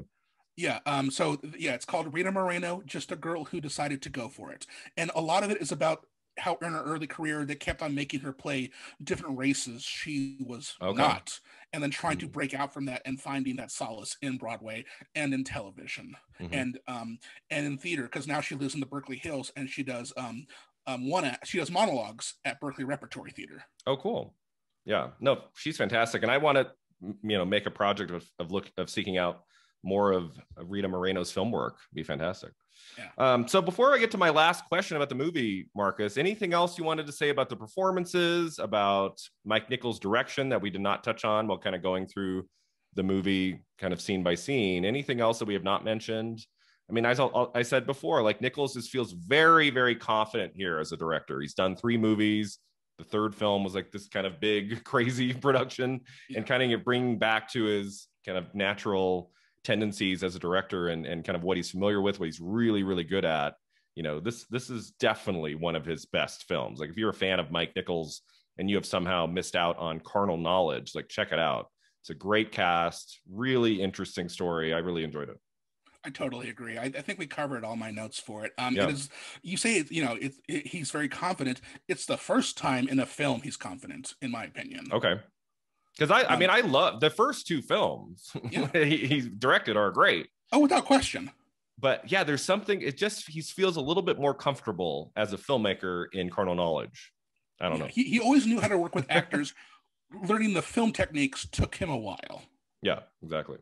So my last question about the movie, I ask of each guest, uh, what would this movie look like if made today? If someone were to remake Carnal Knowledge in 2021, I feel like a lot would have to change, right? Like, how would they make this now? This story? Do you think? I actually don't think a lot would have to change, but Really? it Okay. As I said with um like Bruce and McLeod, I think it would end up being like a streaming film from Yeah. like a, a theater director who who really wants to break into film to Okay. show their stuff. Um, Like a boys in the certain- band kind of thing, like where they Yeah. remake it 50 years later.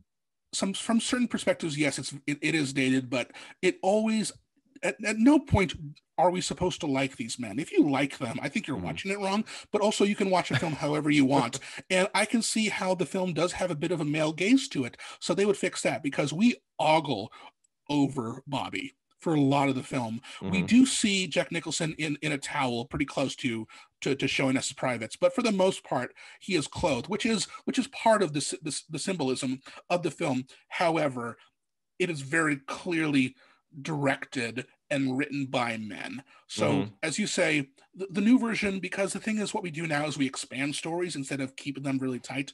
We would get a lot more of the women. They would be Yeah. very. They would be a part of part two very much. We would see more from Susan's perspective in part Mhm. one, and yes. um, the thing is, a lot of like playwrights aren't really writing in this mode right now because this kind of mode did kind of come back in the 90s and early aughts, but not so much anymore. We are more interested in in in in magic, Superheroes. pure reality. No, I mean like also in theater, we're, we're we're not like domestic dramas don't quite look like this anymore. Yeah. Um, yeah, this would be a TV movie, or, or it, you know, it would start off as a festival film and then get bought by a streaming service, which is where all the all the good movies, for the most part, are now. All the mid-budget movies are mm. on streaming, but usually they've gone through the festival circuit. Like if I saw something like this, I, and it was from a new director, I would program it in a second in our mm-hmm. new American cinema competition, and I would mm-hmm. get maybe some some pushback that it feels a little outdated. But I'm like, but why does it feel that way? How can we engage with this? Because I want to engage with the movie, even if mm-hmm. I don't love it. I want to discuss it, and this is a movie that if we told it now, we would discuss nonstop. Mm-hmm. Twitter would explode for a day for something like this. Oh yeah, I would be interested in that. I mm-hmm. want that discussion because there's a difference between argument and discussion. I love discussion. Mm-hmm. Yeah, absolutely. Carnal knowledge. I almost feel like you could change it enough to where you could you wouldn't have to necessarily like obtain the rights to that script by Jules Feiffer. I feel like just like the idea of the film, I think you could do it in a way that's a little different. That you like a film, like a female director could like make it her own, do something a little bit different, but kind of have the same idea behind the movie. I don't know. Like, like, what would Sofia Coppola do with this? Ooh, like, yeah. So like, she re- she not, remade not the Beguiled. The yeah, yeah. And, and, she completely rethought the Beguiled and yeah. made probably her second or third best film, in my mm-hmm. opinion. Yeah, um, a film remake, like, a, a remake of a 1971 movie directed by Don Siegel, directed by a man. Yep. Um, and like she is like our big female director, and I don't want to say like, oh, that's the first one that comes to mind. No, she would make something like this. Um, yes. With On the Rock, she made like a lighter version of this, like her relationship with yeah. her father and her relationship with her husband and the paranoia of marriage and relationships itself, which has always been on her mind. That's why Marie Antoinette is such an interesting movie mm-hmm. because it is about a man trying to control a woman. The man is unfortunately a child in his brain, and she mm-hmm. is the one who tries to be in control but can't because mm-hmm. the whole world is out to get her. Yeah, Act, I, I mean, actors would imagine if Sofia Coppola showed interest in remaking Carnal Knowledge, actors would jump at that opportunity. I mean, it's yeah. such a rich script, and you get to see the trajectory of these characters over 20 years. I mean, she would get a tremendous cast in this. I'd be curious to see. I would love, I would love someone like her to take on this material in the next 10 years. Would be really cool.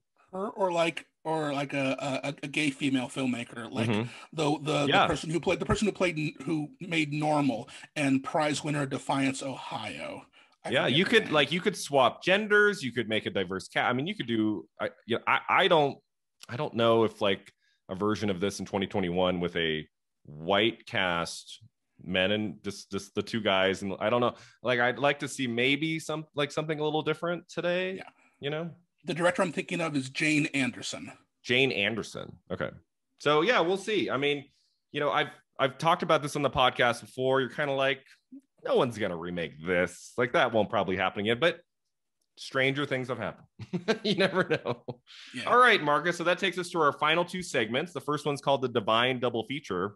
That's where we pick a more modern film that would be paired well with carnal knowledge. What would you recommend to someone right when they finish Mike Nichols' Carnal Knowledge to put on as a second film for the night? Well, if you want to be dragged through hell a second time, um, I have mentioned it before. Uh, Neil LaBute is a very big fan of this movie, and you can tell, especially with his 1998 film Your Friends and Neighbors, which is uh, Ben Stiller, Aaron Eckhart, Jason Patric, Catherine yeah. Keener, Amy Brenneman, and Nastassja Kinski. And he, in fact, screened this film for his cast as he was making it. Oh, we um, did. Um, oh, yeah. I, I, I okay. have I have a Neil LaBute uh, biography. If you allow me to to, to say a yeah, couple th- uh, excerpts. This is wild, Marcus, because my choice is a, also a LaBute movie. Perfect. We, um, we, are on the same wavelength here. Of course. Well, no, it, it, he very clearly was inspired by this film. Yeah. Um, uh, about carnal knowledge, it's a film which explores that gap between the needs and expectations of men and women which is a product of something more than changing times, though these changes are reflected as the two men grow older and the world around them alters. Um, he, he screened this for them um, because of the honesty with which it approaches the nature of personal interactions. The film they were about to shoot shared certain concerns with Feiffer's script, notably the fascination with the performative component of identity, with sex as the assumed currency between men and women, with the game playing involved in relationships, betrayals, cruelties, self concerns of characters who place themselves at the center of their own personal dramas. Interesting. Um, and your friends and neighbors also only has six speaking roles and it doesn't feel Mhm. like it and you don't notice. Um, it is it, um, and it also they both end they both climax in very horrifying ways, but one is a confession, the other is the fight, and so um. Neil LaBute is sort of outre now. He has been fired as the resident playwright of the Manhattan Theater Company or Okay. company. Yeah, has It he hap- made has he made a film in the last six, Um, seven years? He is making TV shows for Netflix. Like he made that Lost ripoff like two, three years ago Oh, okay. that nobody saw. But no, he his movies weren't coming out in theaters past Wicker Man anyway. They were going The Wicker to VOD. That's I, right. I am the one person who likes the Wicker Man remake, unfortunately, because I think people misread it, but also they have every right to misread his his plays and movies as misogynistic. I personally don't, but he was fired from MTC during the the first wave of Me Too um, um cancellations. But I've looked, and there's no evidence. Nobody said why he was fired. Oh, okay. So like So- 2017, 2018, he was like like fired from his job over some allegations. Yeah, um, that's where he's written the last like 15 years of his plays. Was this one theater company off Broadway? Oh, interesting. Um, so he still has a film career, but it's not coming out anymore. Like he's not remaking Death at a Funeral. He's not making uh, any Aaron Eckhart movies. He's not making Downview Terrace. Was that what it was called? The Samuel Jackson. oh, movie? right. Lake Lakeview Terrace. Lakeview Terrace. Samuel Jackson. Um, because clearly, like the, the, the movies I like of his were the ones that were based on his plays, or at least inspired by his plays, which might bring us to your choice for a double feature. Yeah. My choice was a film I saw at the Sundance Film Festival in 2005, and that's The Shape of Things. Have you seen The Shape of Things with Oh uh, God, with, yes. with Weisz and Paul Rudd and Gretchen Mol? It's And, uh, I mean, it's obviously based on a play. It's like I think it's just four speaking roles in the movie. Yep. The other Um, guy is Fred Weller. Frederick. Weller, who Frederick played it on Broadway, and he is in Aaron Sorkin's To Kill a Mockingbird. To- Oh. Mockingbird. Mockingbird. He um Aaron Sorkin changes it so um the the the the, the, the victims um has a has an abusive husband, not an abusive father. Okay. And he he he gets the he gets the centerpiece of Act One, which is the cross examination from Jeff Daniels from Atticus Finch. Yeah. So, prob- one of my two or three most memorable Sundance Film Festival experiences was watching The Shape of Things in a giant theater called the Eccles Theater in Salt Lake City, or not Salt Lake City, in um, Park City for the Sundance Film Festival. And I'm not going to give it away because I want, I, I'm assuming a lot of our listeners have not seen that film. It kind of came and went. It wasn't like a big hit or anything. It didn't get any awards or anything at the end of 05 but where that movie goes in the last 20 minutes is so interesting and unexpected that I don't want to give it away here, but just say it's, you know, it has some similar themes of carnal knowledge and relationships between men and women, but it kind of flips it in the shape Yeah. of things at the end. And it's it's a wow of an ending, let me tell you. it is a very divisive film. That's where people make their judgments on Neil LaBute because they, in the, for the most part, don't really know his stuff beforehand or afterwards. They just think that is misogynist play. Where Mm. actually he was challenged after writing the Company of Men in the Company of Men, his first film, Yeah. which is about two men um, um, who have a bargain to pretend to fall in love with a, a deaf woman. Mm. Um, and he's like, they're like, you keep on making these these horrible men movies. Can you flip that around? and then people don't know in context that that's why the shape of things exists out of Mhm. context i can see a very easy way to read it in a certain way that he just hates women and that comes up a lot in his other plays too however i don't think he likes men either at any Mhm. point no man has ever been a hero in any of his plays his 9-11 plays fat pig how to be pretty um, all of these i've read a lot of his stuff but now i can't talk about him much in theater because people aren't quite interested in his stuff anymore Interesting. the Shape of Things is a very cool thing. Um, he got popular because of Bash, an off-Broadway play that they filmed for Showtime with Paul Rudd, Calista Flockhart, and Ron Eldard. Oh, okay. Three one acts about Mormons gone wild, Mm-hmm. Um, Shape of Things is his first Broadway show, Okay.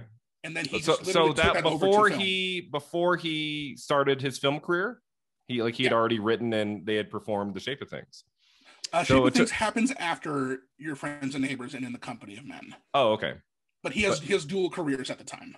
kind of like nichols is like doing both like he's making films he's directing theater Yeah. And the shape of things, Labute was there for the Q and A. Uh, The whole cast was there, so all five of them were up on the stage, and in like every seat was taken in this giant theater. And I raised my hand, and to Labute, who was standing there answering questions, I said, "Yes, hi." I kind of went like this. I have a question for Paul. and I, I'll never forget the look on Labute's face. He kind of looked at me like, kind of narrowed his eyes and stepped aside. Whatever. Paul Rudd comes up. I said, So, Paul, who was the better kisser in this movie, Rachel or Gretchen? And he said, Fred.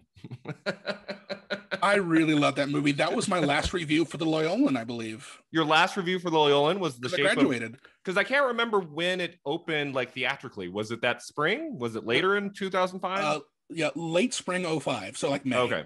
Because Like yeah, May. that was my last review, and I've seen it on stage twice. Um, colleges love to do it because it's cheap to produce. Cheap to produce. It's it's it's it's very it's it's very pointed and vicious, and it's Mhm. a, it's an actor showcase. Yeah. Um, I think it's a great play, but I can see why that mode of storytelling isn't popular anymore Yeah. because oh my god, it's cynical. Oh my it's god. very cynical. It's not a movie you're walking out like snapping your fingers, joke, having Rachel with it. You're Weisz like, is "Oh." incredible in it. Yeah, that's the year she won an Academy Award for The Constant Gardener was 2005, Mhm. which is I I remember a, a solid film, solid performance, but the one that I will always remember of her, at least in you know 15, 16 years ago, was The Shape of Shape of Things. She's great in that movie, so check it out. Uh, I also was thinking because of that fight scene a little bit. I was thinking of Before Midnight. I mean, that would be a great, I think, second film too. I mean, Yeah. looking at obviously a couple where things are working a little bit better for them in Before Midnight than they are in Carnal Knowledge, but kind of the nature of the fight in at the end of Before Midnight was also an idea. And then I thought if you wanted to do it kind of moving into our final segment beyond the flick about the career of Mike Nichols, would you agree that a really cool second film after Carnal Knowledge would be to watch Closer, Yes. right? So let's Oh, go yes. let's talk about Mike Nichols and his career. Also Closer, his second to last film, Yeah, right? It should should have been his last film because he ends with Charlie Wilson's War, Which I which kind of misdirects. And I, I like Aaron Sorkin as a writer, despite his his trappings. Yeah. but it is not a good movie to end on. I actually Yeah, a- closer should have been the that would have been the Yeah. perfect ending. I actually him. had a second double feature film. Oh, go Um, for it. But um, so throughout this movie, the characters keep saying bullshit artists to each other, which I've only heard constantly said in one other movie, and that's the Greasy Strangler from 2016, the Jim Hosking movie. Throughout the movie, the father and the son, who are always naked and covered in grease, keep screaming that phrase to each other throughout the entire film. And it, for some reason, I guess it's a reference to carnal knowledge, which I didn't realize until just Oh. now. Well- and, and that's a that's a really weird movie. It's sort of a serial killer movie. It's sort of a cringe comedy. It's sort of a romance.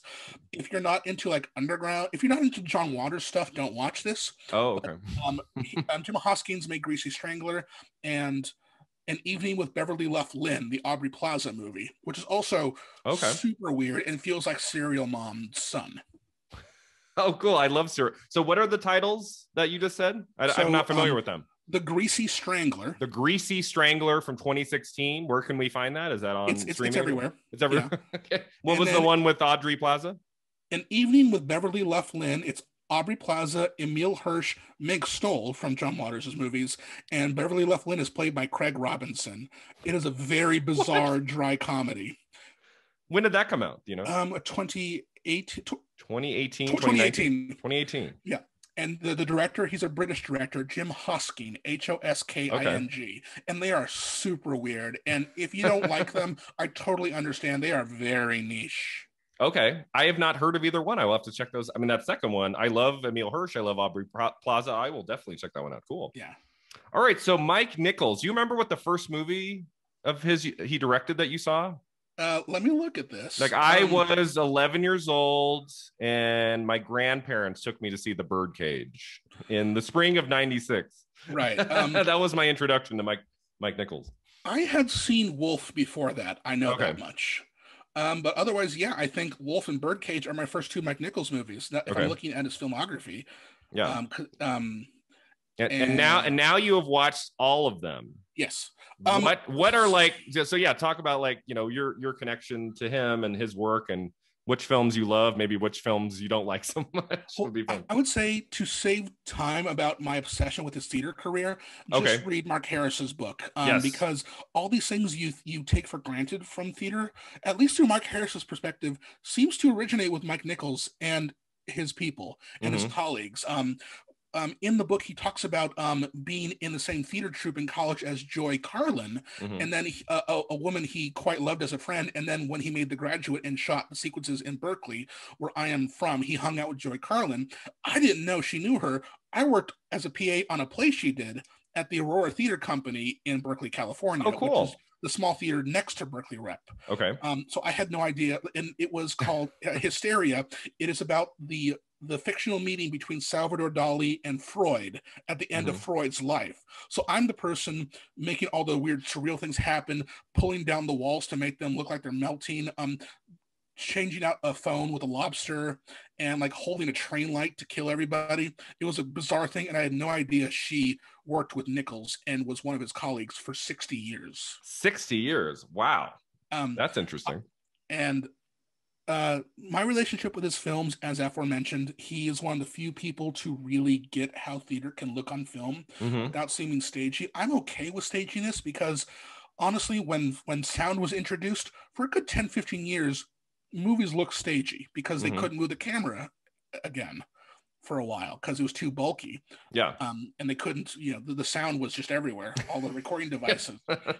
Um, he has a way of making silly things very real and getting under their skin and communicating that that with you, even with something like Working Girl, which I feel is way more dated than Carnal Knowledge. Okay. He still gets you to love these people who are making these weird mistakes from a from a project that is very clearly made by men. hmm Um, Yeah. I love the way he works with actresses. Hmm Um, Just tremendous. I mean, I mean, you look at his career and just you know in film, not even in theater, and just the the, the quality of the actors he gets for movie after movie is just ex- extraordinary. I mean, even a movie like The Birdcage, he gets like an amazing cast for that movie, so even when he's doing a comedy, right? and he yeah and, and that was a return to form for him um Oh, he yeah.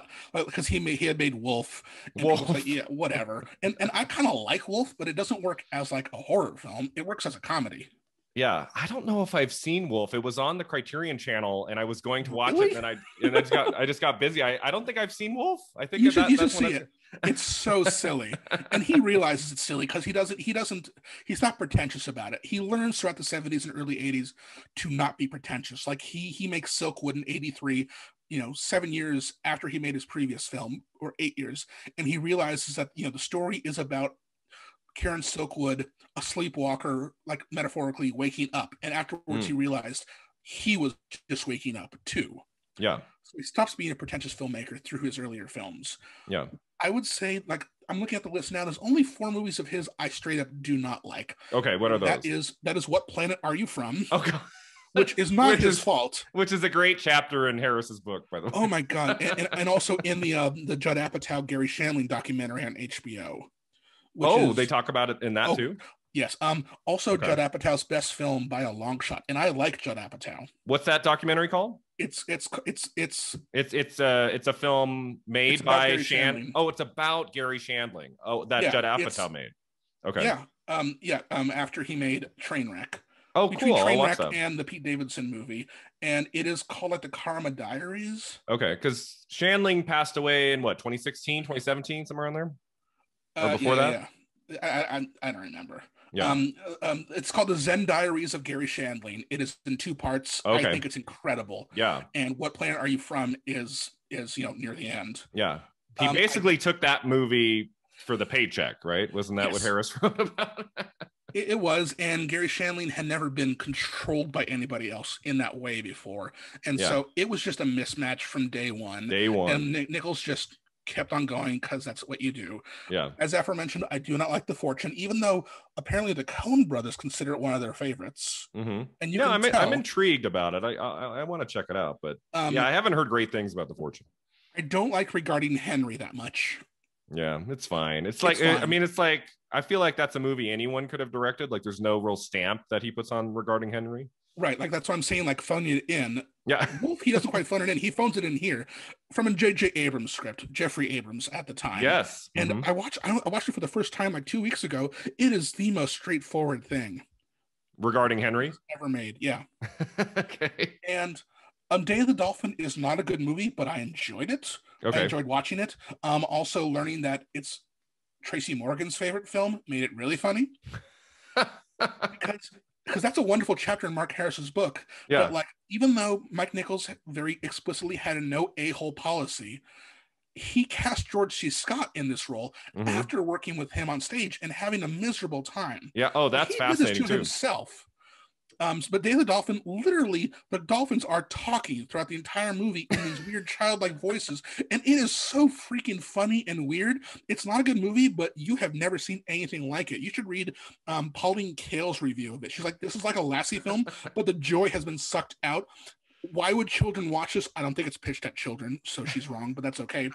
But it's a it's it's a very depressing kids kids It- like, it's it- not a. Is it a kids kids? adjacent movie. Oh, is it a movie aimed at kids? Is that what Nicholas was doing with Day of the Dolphin?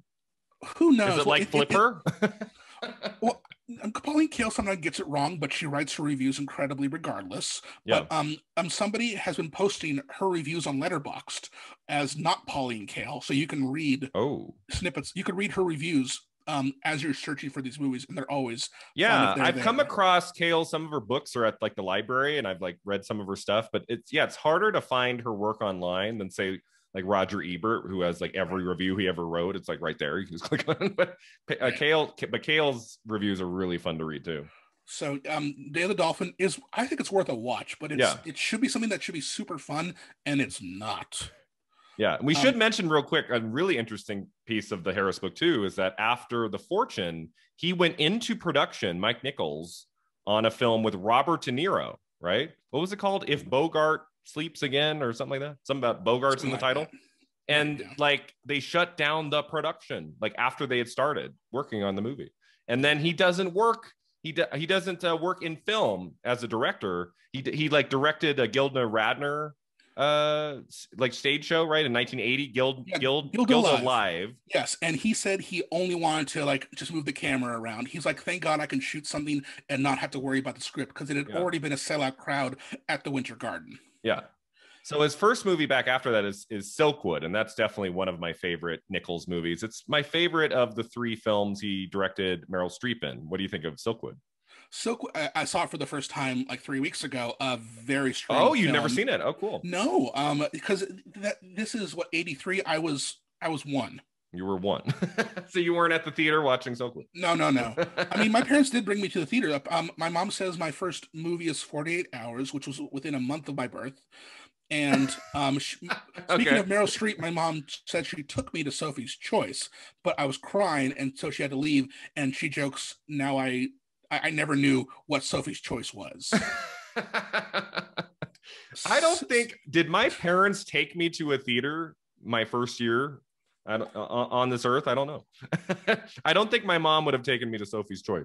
Silkwood. Silkwood is a great movie about America. Um, the chapter on it is wonderful because of uh, all the lawsuits surrounding it, because the nuclear company Yeah, um, got on his ass and made him change the ending and change some names and change some facts. And the book posits that it's the first docudrama of its kind to talk about current events in a very in a very journalistic way, which a lot of people th- said that's not what film is for. He's like, Mhm. "It- it is now. Yeah. Also, an important film for Nora Ephron. She co-wrote the script with Alice Arlen for Silkwood, Mhm. and that kind of started right her film career. Had she did. written anything before that? Um, not for film. She, For she was like she was a New Yorker columnist or something Yeah. like that. And then and then Heartburn happens and that becomes controversial. Mandy Patinkin gets Mandy fired after a week, and J- Mhm. Jack Nicholson comes in with three days prep. Yep. Um, and only if he can get a certain amount of money, the studio crunched the numbers and says, yes, Jack Nicholson is worth the money he's asking for. Mhm. Um, again, playing playing a very Jewish character. Yeah. Yeah. So Mike Nichols works with Nicholson four times on film. That's the other one we haven't mentioned is Heartburn from 86, which is a movie I want to love because it's got two of my favorite actors of all time, and it's Nichols and it's Ephron. I've watched it like three times over the last 10 years, and I'm just like, it's it's, It's fine. weird. It's weird. like the scene where she's at the she's getting her hair styled and she realizes that her husband's been cheating on her and she goes home and and they have that argument that's a great segment of the movie but there's a lot of parts of it i'm like eh it's okay So one but, of my favorite um, but like the uh, um overall, um, the the movies I love of his most like my top three. yeah what are your top three mike nichols if we're not counting carnal knowledge, Okay. all my stuff skews pretty modern. So I apologize for people who, you know, th- th- there's a recency bias there. But um, so I I would. I would say in third, there's a tie for third place. So okay the birdcage with an audience or with your friends really So really works by yourself it doesn't quite work um as much i, I rewatched it yesterday okay I, th- I think most of the stuff with gene hackman in the first half could have been cut Oh, that's a kind of interesting point. I yeah, I did a 25th anniversary bonus episode with a guest on the birdcage, and I on the episode I'm like, I'm trying to find things negative to say about this movie. I mean, It- I so love fun. the birdcage. It's it's a blast. it's I agree. There's maybe a little bit too much of Hackman in the beginning, but So I, the- I find him adorable in that movie. I really yeah, like him. no, he's really good in it. Um, uh, Elaine May did a great job um, um, adapting it from La Cage aux Folles, but in La Cage, they are not politicians; they're just conservative people. oh, the okay. other family. So she brought all that stuff in, and it's a little dated. But in 1996, it was wonderful. The movie's a little dated too, but most people who say that are straight people.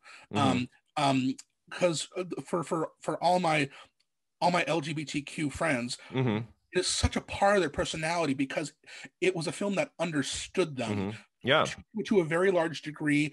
Um, made Nathan Lane a full star and not Mhm. just a cartoon voice. Yeah. Um, took and took gay characters seriously in a major, really major way.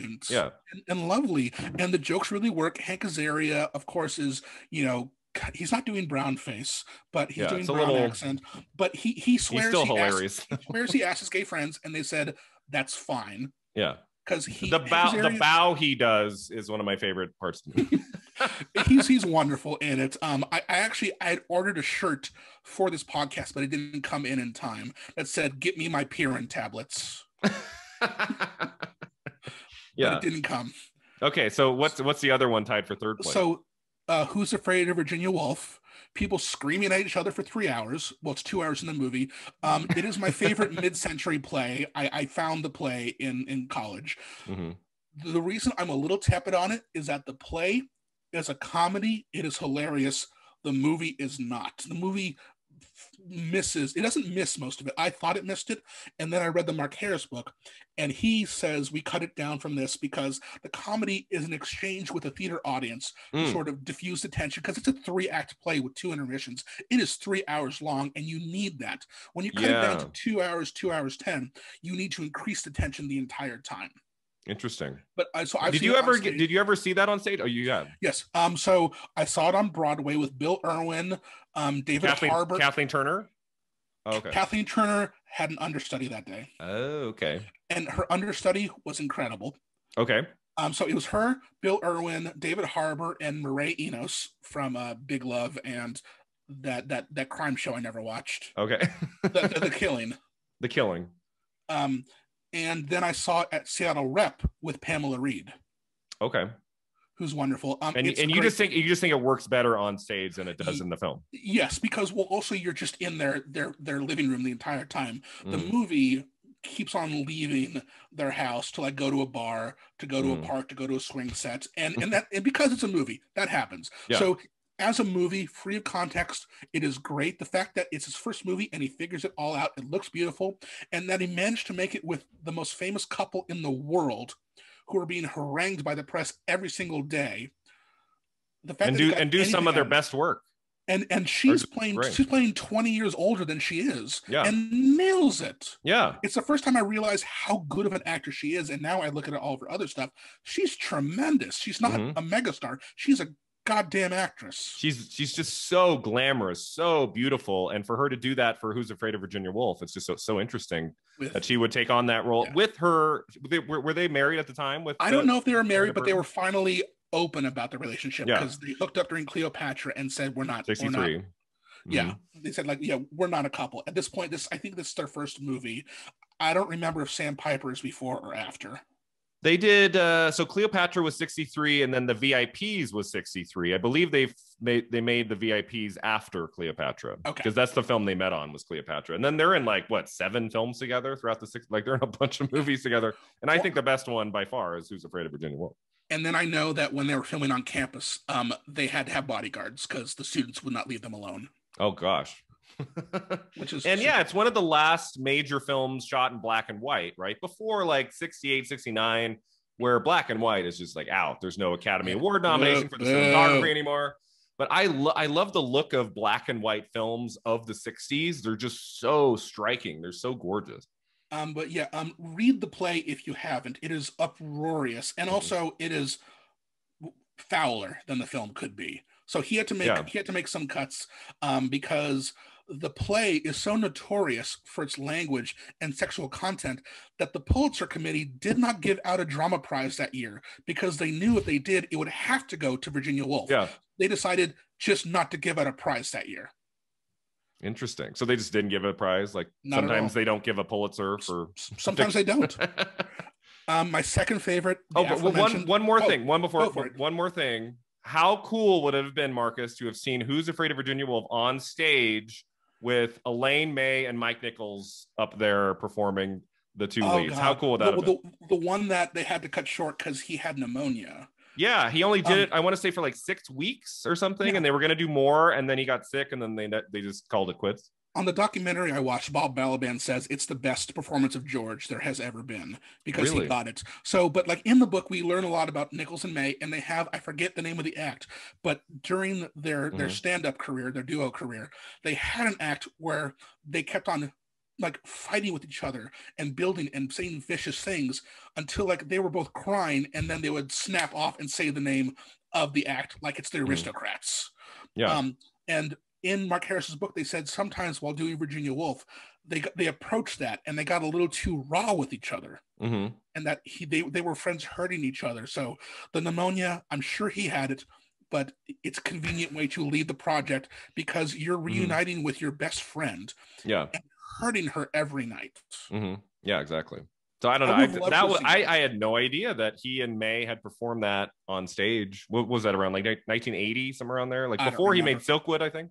Also, But, uh, um, cool. three three uh, three Nichols and May albums are on iTunes. I downloaded all three of them. Oh, okay. I was gonna ask you. Like, I know there's some clips I've seen like on YouTube of their show, but like, like you can actually download some of their albums. Yeah, uh, three of them. It's um, it's it's um, uh, um, in the evening with Nichols and May, which is their Mhm. Broadway show, um, in 1960. Improvisations to music in 1959, Okay. and then Nichols and May examine doctors, which was their improv on that uh, public access radio show. Okay. And so yeah, yeah, those those are all on iTunes. It's so interesting how their careers are so intertwined. I mean, they start together on stage and, and recording these shows, and they became very famous and very rich, right, by the Yeah. early 60s. And then Elaine May would go on to perform with him on stage and Virginia Woolf. And then she collaborates with him on both The Birdcage and Primary Colors. Elaine And- May yeah. uh, got an Oscar nomination for her screenplay of Primary Colors, which It's a, good, it's a really good screenplay, and uh, unfortunately, the film was killed by the Lewinsky scandal, and, Yep. and that's in the book too. They're like, we have something incredible. Oh, it, it pales in comparison to, to reality. Oops. Yeah. and Elaine May's career is so fascinating too as a director. Oh, we just talked her. about her first film a few months ago, A New Leaf, which came out in March of 71 with Mhm. Walter Matthau, which is like some interesting uh, you know research they did behind that movie and how like she she had a three hour version she was cutting together and the, they were like, no, you got to cut it down. We need it. And she wanted her name off the movie.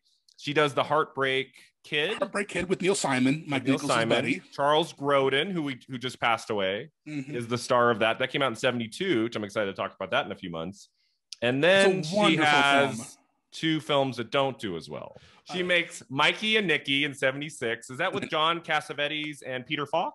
I uh, that sounds right. I have I not think- seen it. And then that didn't do very well. Her career as a director in film is kind of over, but Warren Beatty brings her back for Ishtar of all movies in 87, Which I really like. which is a fun movie. I saw it, It a few is. years ago. I liked it a lot. I mean, it's, you know, I mean, I I don't know what happened there. It's I think it's kind of charming, you know, it's It kind of silly. um, and she's still a great playwright, and Yep. recently won a Tony in a play I saw.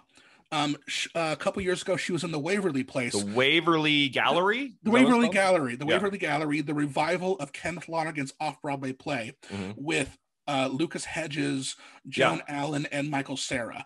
I, oh it was, man, you saw it with them?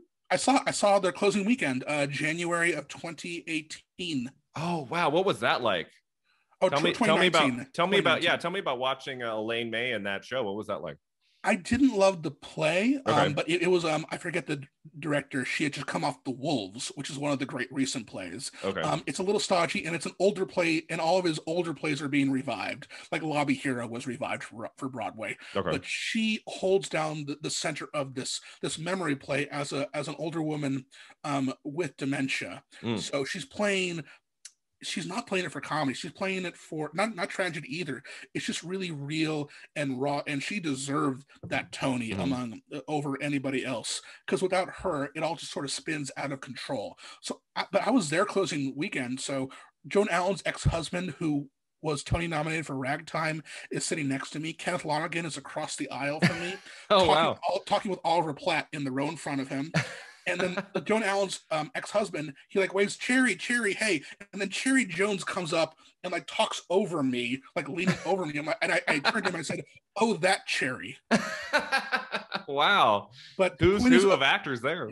Elaine, it's it, it's a hard role to describe, but it, it, it is it is about uh, generations and what we hold on to and what art means to people. Mhm. And uh, she is just exquisite Yeah. in that play. And Harris talked about how I, did he say like I wasn't even sure I could write the book on Nichols if I couldn't interview Elaine May. He really needed to talk to her, and he said I think it was on Colbert. He said that was the person he needed to get for the book Oh, to make it successful, and he did. And she's all over the book from beginning to end, and and uh, you know just a fantastic career herself too.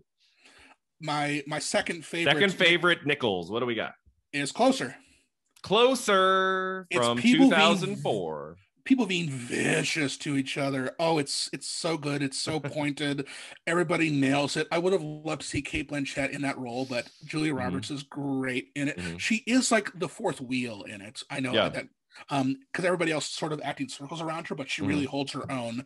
Um, and he had to change the ending from test screenings because the play is a little lighter on what happens to people. Okay. Um, but it um it is just full of the most incredible one-liners Mhm. and the one that always like sticks with me is um have you ever seen a human heart it looks like a fist covered in blood Who says Holy that in the movie? clive owen the doctor Clive Owen. and wow. also it has so it's a lot like carnal knowledge it has the time jumps because it takes place over several years okay. and from scene to scene years will pass or months will pass and that feels a lot like carnal knowledge that's why i think patrick marber the playwright and eventual screenwriter has seen carnal knowledge or at least what it inspired Mhm. um, it is just for i love domestic dramas about people spiraling but Mhm. trying not to Yeah. um, it is very it's natalie portman the best she's ever been she's Mhm. always in control and mike nichols adored her he was like a father figure to her he used her Mhm. again in the shakespeare in the park version of the seagull with Seagull. meryl and philip and john Goodman Yeah. and, and everybody Stacked cast in the Seagull. uh closer is it's it, like it's like again it's not for everybody but Mm. If you are that kind of person it's hard to do better because movies don't quite look like that anymore Yeah. It- it's yeah. I mean, it's play. 2004, 2004, kind of a different time. And uh, Jude Law is the other actor in that film, right? yeah Ju- the, the um, year of Jude Law, he was in like six films in 04. yeah and, and and you know it, it- and, and that was an interesting year because that, that was also the aviator and i think alfie and just all these crazy things Yep. um uh Did you number- review? Did you review Closer for the Loyola? Because that came out in uh, December of 04. so do, do you want the story behind this sure, why not? okay so um another writer i will not say their name i don't think you know him um we ran his review of it and then i noticed it didn't quite sound like him it was a little too smart for him and then i googled it and he had stolen paragraphs from the san jose mercury What? Oh my gosh. and I, I approached him. I was a little arrogant about it, so I apologized. But I said, like, here are the two reviews. Here's yours. Here's this. This is a legal problem. It's not that I'm mad. It's that we could get sued yeah. for this. This is copyright infringement, and he apologized. But our media advisor used those two pages as um, he used it talking to um, editors down the line at the Yeah. level one of how to spot plagiarism. And actually, actually, I, I had the the weird idea. It was actually my wife who actually did the research because and she found it within seconds. Oh, it's still like you can look it up now. Like yeah, well, well, she she she just knew which thing to look for, and now she's a professor and has her own Oh, okay. plagiarism, which she now has to legally report to the university. yeah. Oh, Um, so- wild. So, so, we Okay. ran a we ran a review. I knew something felt off, but I still ran it because we didn't have time. Mhm. And then and then detective mode happened. Detective mode happened. You should have hired me to write that one, Marcus. I- I, I, I- would have not have plagiarized a word. I know, I believe you. Um, and so my number one, Number I'm sure one. you- I'm sure you anticipate this because you emailed me after you watched it and says, "I see why you chose this as your number one film of 2004, Angels in America," Angels in America. Yeah, which is not a film. which is not a film, but I put it on its own. I put it on its own little category, like like it's it's this other piece of. I mean, it's it's considered by most, right, the best thing Mike Nichols ever did. it's Angels in America. just so incredible. I, I had read the play. Um, I was working the uh, at Loyola Marymount's um, student-run theater, the Del Rey Players, and I Mhm. was reading it during Barefoot in the Park when I was a PA on that. I was doing sound on that, so Oh, on the okay. Simon Mike Nichols thing, and, I, and I read I read both parts while I was up in that booth, and I thought this is the most incredible thing I've ever read. It's a cliche now to call Angels one of the great American plays of the last thirty-five years, but it's true Mhm. and Mike Nichols found every every angle into it. He did everything right. He cast it perfectly. Um, it is so heartrending and and life affirming. Mhm. And um, and it's it's easy to get Angels wrong. I've seen bad productions, Mm. um, but everything he does with that is a perfect synergy between theater, film, and television. I usually don't like HBO's movies. They're usually old-fashioned white people bull crap. Mhm. but th- this this i don't know how to how to say enough great words about his production of angels Hmm. I, and i love that it led to his relationship with tony kushner and that it led to mark harris because Mm-hmm. when we get to that chapter in the biography i'm like oh, i wonder why he has so much insight oh wait he's married to Tony. Oh, tony he's married to Kushner, Tony Kushner. Yeah. which i knew it was a joke but yeah Which I think, yeah, I think he said that was like there were two chapters he was kind of struggling with: The Graduate because he'd already written about that for his first book, and then Angels in America because he's so close to the playwright, you know, as his husband. But it's, you don't see it on the page. He did a great job. it's just wonderful and and the the missing one obviously is the graduate which i really really like i think it's dated and i think it's easy to re- i think the second half doesn't quite work because benjamin is not really a nice person and you see him Yeah. follow her uh um elaine is that the daughter's name? Elaine, yeah, yeah and he's being kind of a creepy stalker. Yeah, in 1960 whatever it seems like even ebert like he loved like this is a movie for a generation and then 30 years later he rewatched it and says oh this Three guy's stars. an idiot. Three stars. Um, and also the graduate um so i took an academy of art class in high school Mhm. in san francisco and that was the movie we analyzed frame by frame scene by scene so i can only watch it through that analytical lens and i can't watch it as a movie Okay. so because he tries all these weird little tricks yeah. The Graduate would be like four or five on my list. I love that movie. I love the first half. Like Yes. the first half to me is just movie brilliance. I love every second. Once Mrs. Robinson is like kind of out of the movie and it's about him pursuing Elaine, I, it's fine. I don't. Th- that's an example of a movie that doesn't quite stick the landing in the second half. It just No. like there's some parts I like in this in the last 45 minutes, but uh, I mean the, the the first the opening stuff with Mrs. Robinson and the way that the film is shot and cut together is really interesting. I remember at LMU we studied a lot of uh, The Graduate in like sound design class and editing and stuff. So it's it's a, a it's an cool important movie. film. yeah You kind of Um, you kind of have to see it if you're interested in the work of Mike Nichols. You kind of have to see The Graduate. That's the only film he won an Academy Award for. Kind of crazy. it, it- it's a miracle that it even is a, is a cohesive film knowing what we know from both pictures at a revolution and mike nichols Mhm. alive yeah. um, the fact that you know he got that performance out of dustin hoffman who was uncomfortable the entire time and had no idea what he was doing and thought he was the wrong guy from day one Yeah.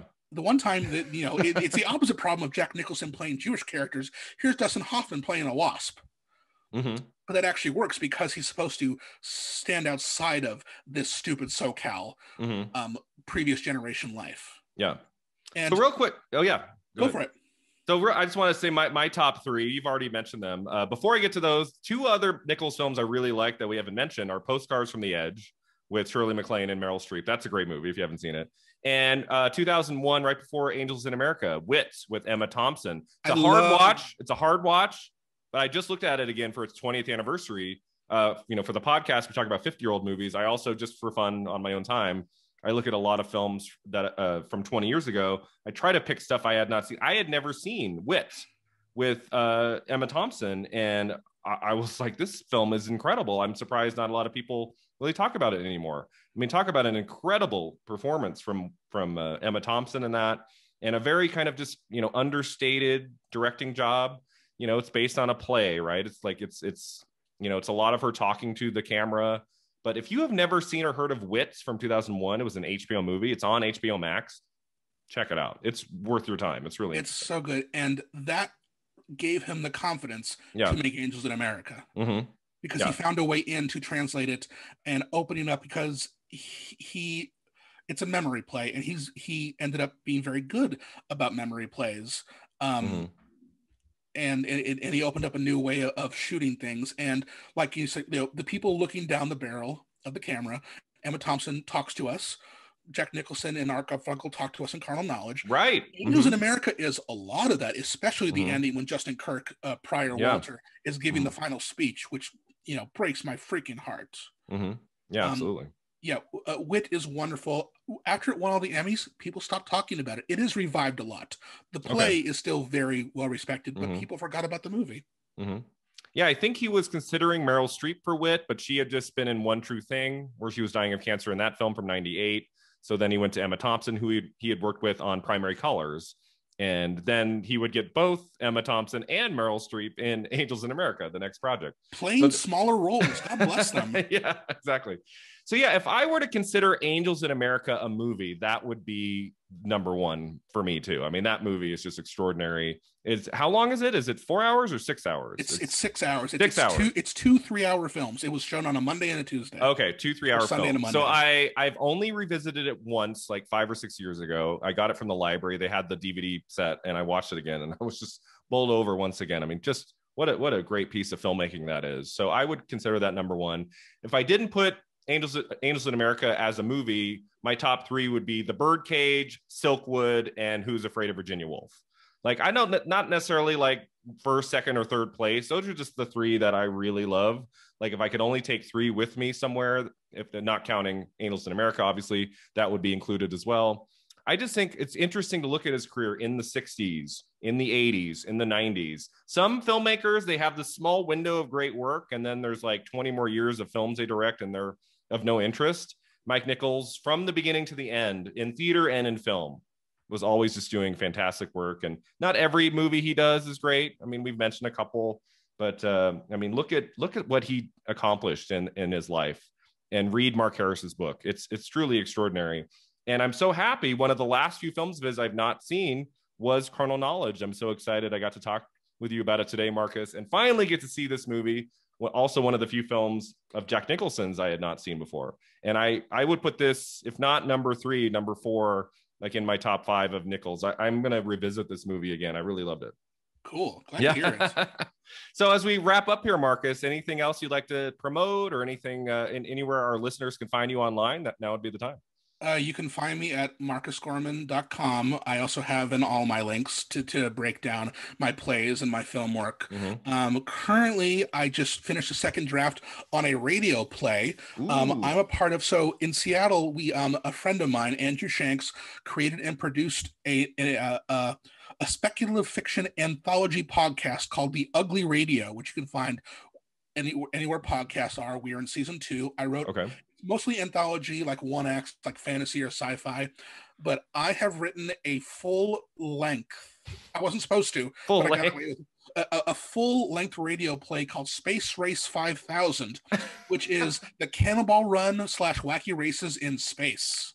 Wow. So what do I you just- mean by a full length radio play? What does that mean? Um, currently, um, hopefully this doesn't change. It's it's 93 pages long. oh wow. Um, we're gonna split it over two episodes. okay. Um, right now they are set to be released August 6th and August 13th. Okay. Who knows that might change? I only delivered the second draft a week ago. Oh, cool. Actually, and so how, do, how is that produced, Marcus? You have, do you guys get together and hire actors to perform it? How does that work? So um, it is an ensemble of uh, Seattle-based uh, theater performers, Okay. and he created the Ugly Radio during quarantine, during the pandemic. So everybody's been recording at their own houses and apartments, and he has been editing them together. This is the first time we're doing a full length because he offered me a full length, and Mhm. then I delivered a script that is twice as long as he asked for because I liked it too much. And then I brought in um, a, a co-writer friend. We wrote a sci-fi play called Peggy, the plumber who saved the galaxy. I brought him in to punch it up last week. Oh, cool. So, So, did, did you find a cliffhanger for like page 45? Um, it- it's around page 60, unfortunately. Oh, okay. so we'll have to work on that. Um, but no, so it, it is. I, I wrote a I wrote a podcast cartoon film about idiots racing through space, and so it's both. As usual, my stuff is sort of a pastiche slash parody of genre, but also a love letter to them. Um, to say to use the cliche, because I love science fiction and I love weird cartoons. So it starts off as a comedy and then slowly gets more serious, which is my shtick, which I did not intend to do over the last 10 years as a playwright and a writer.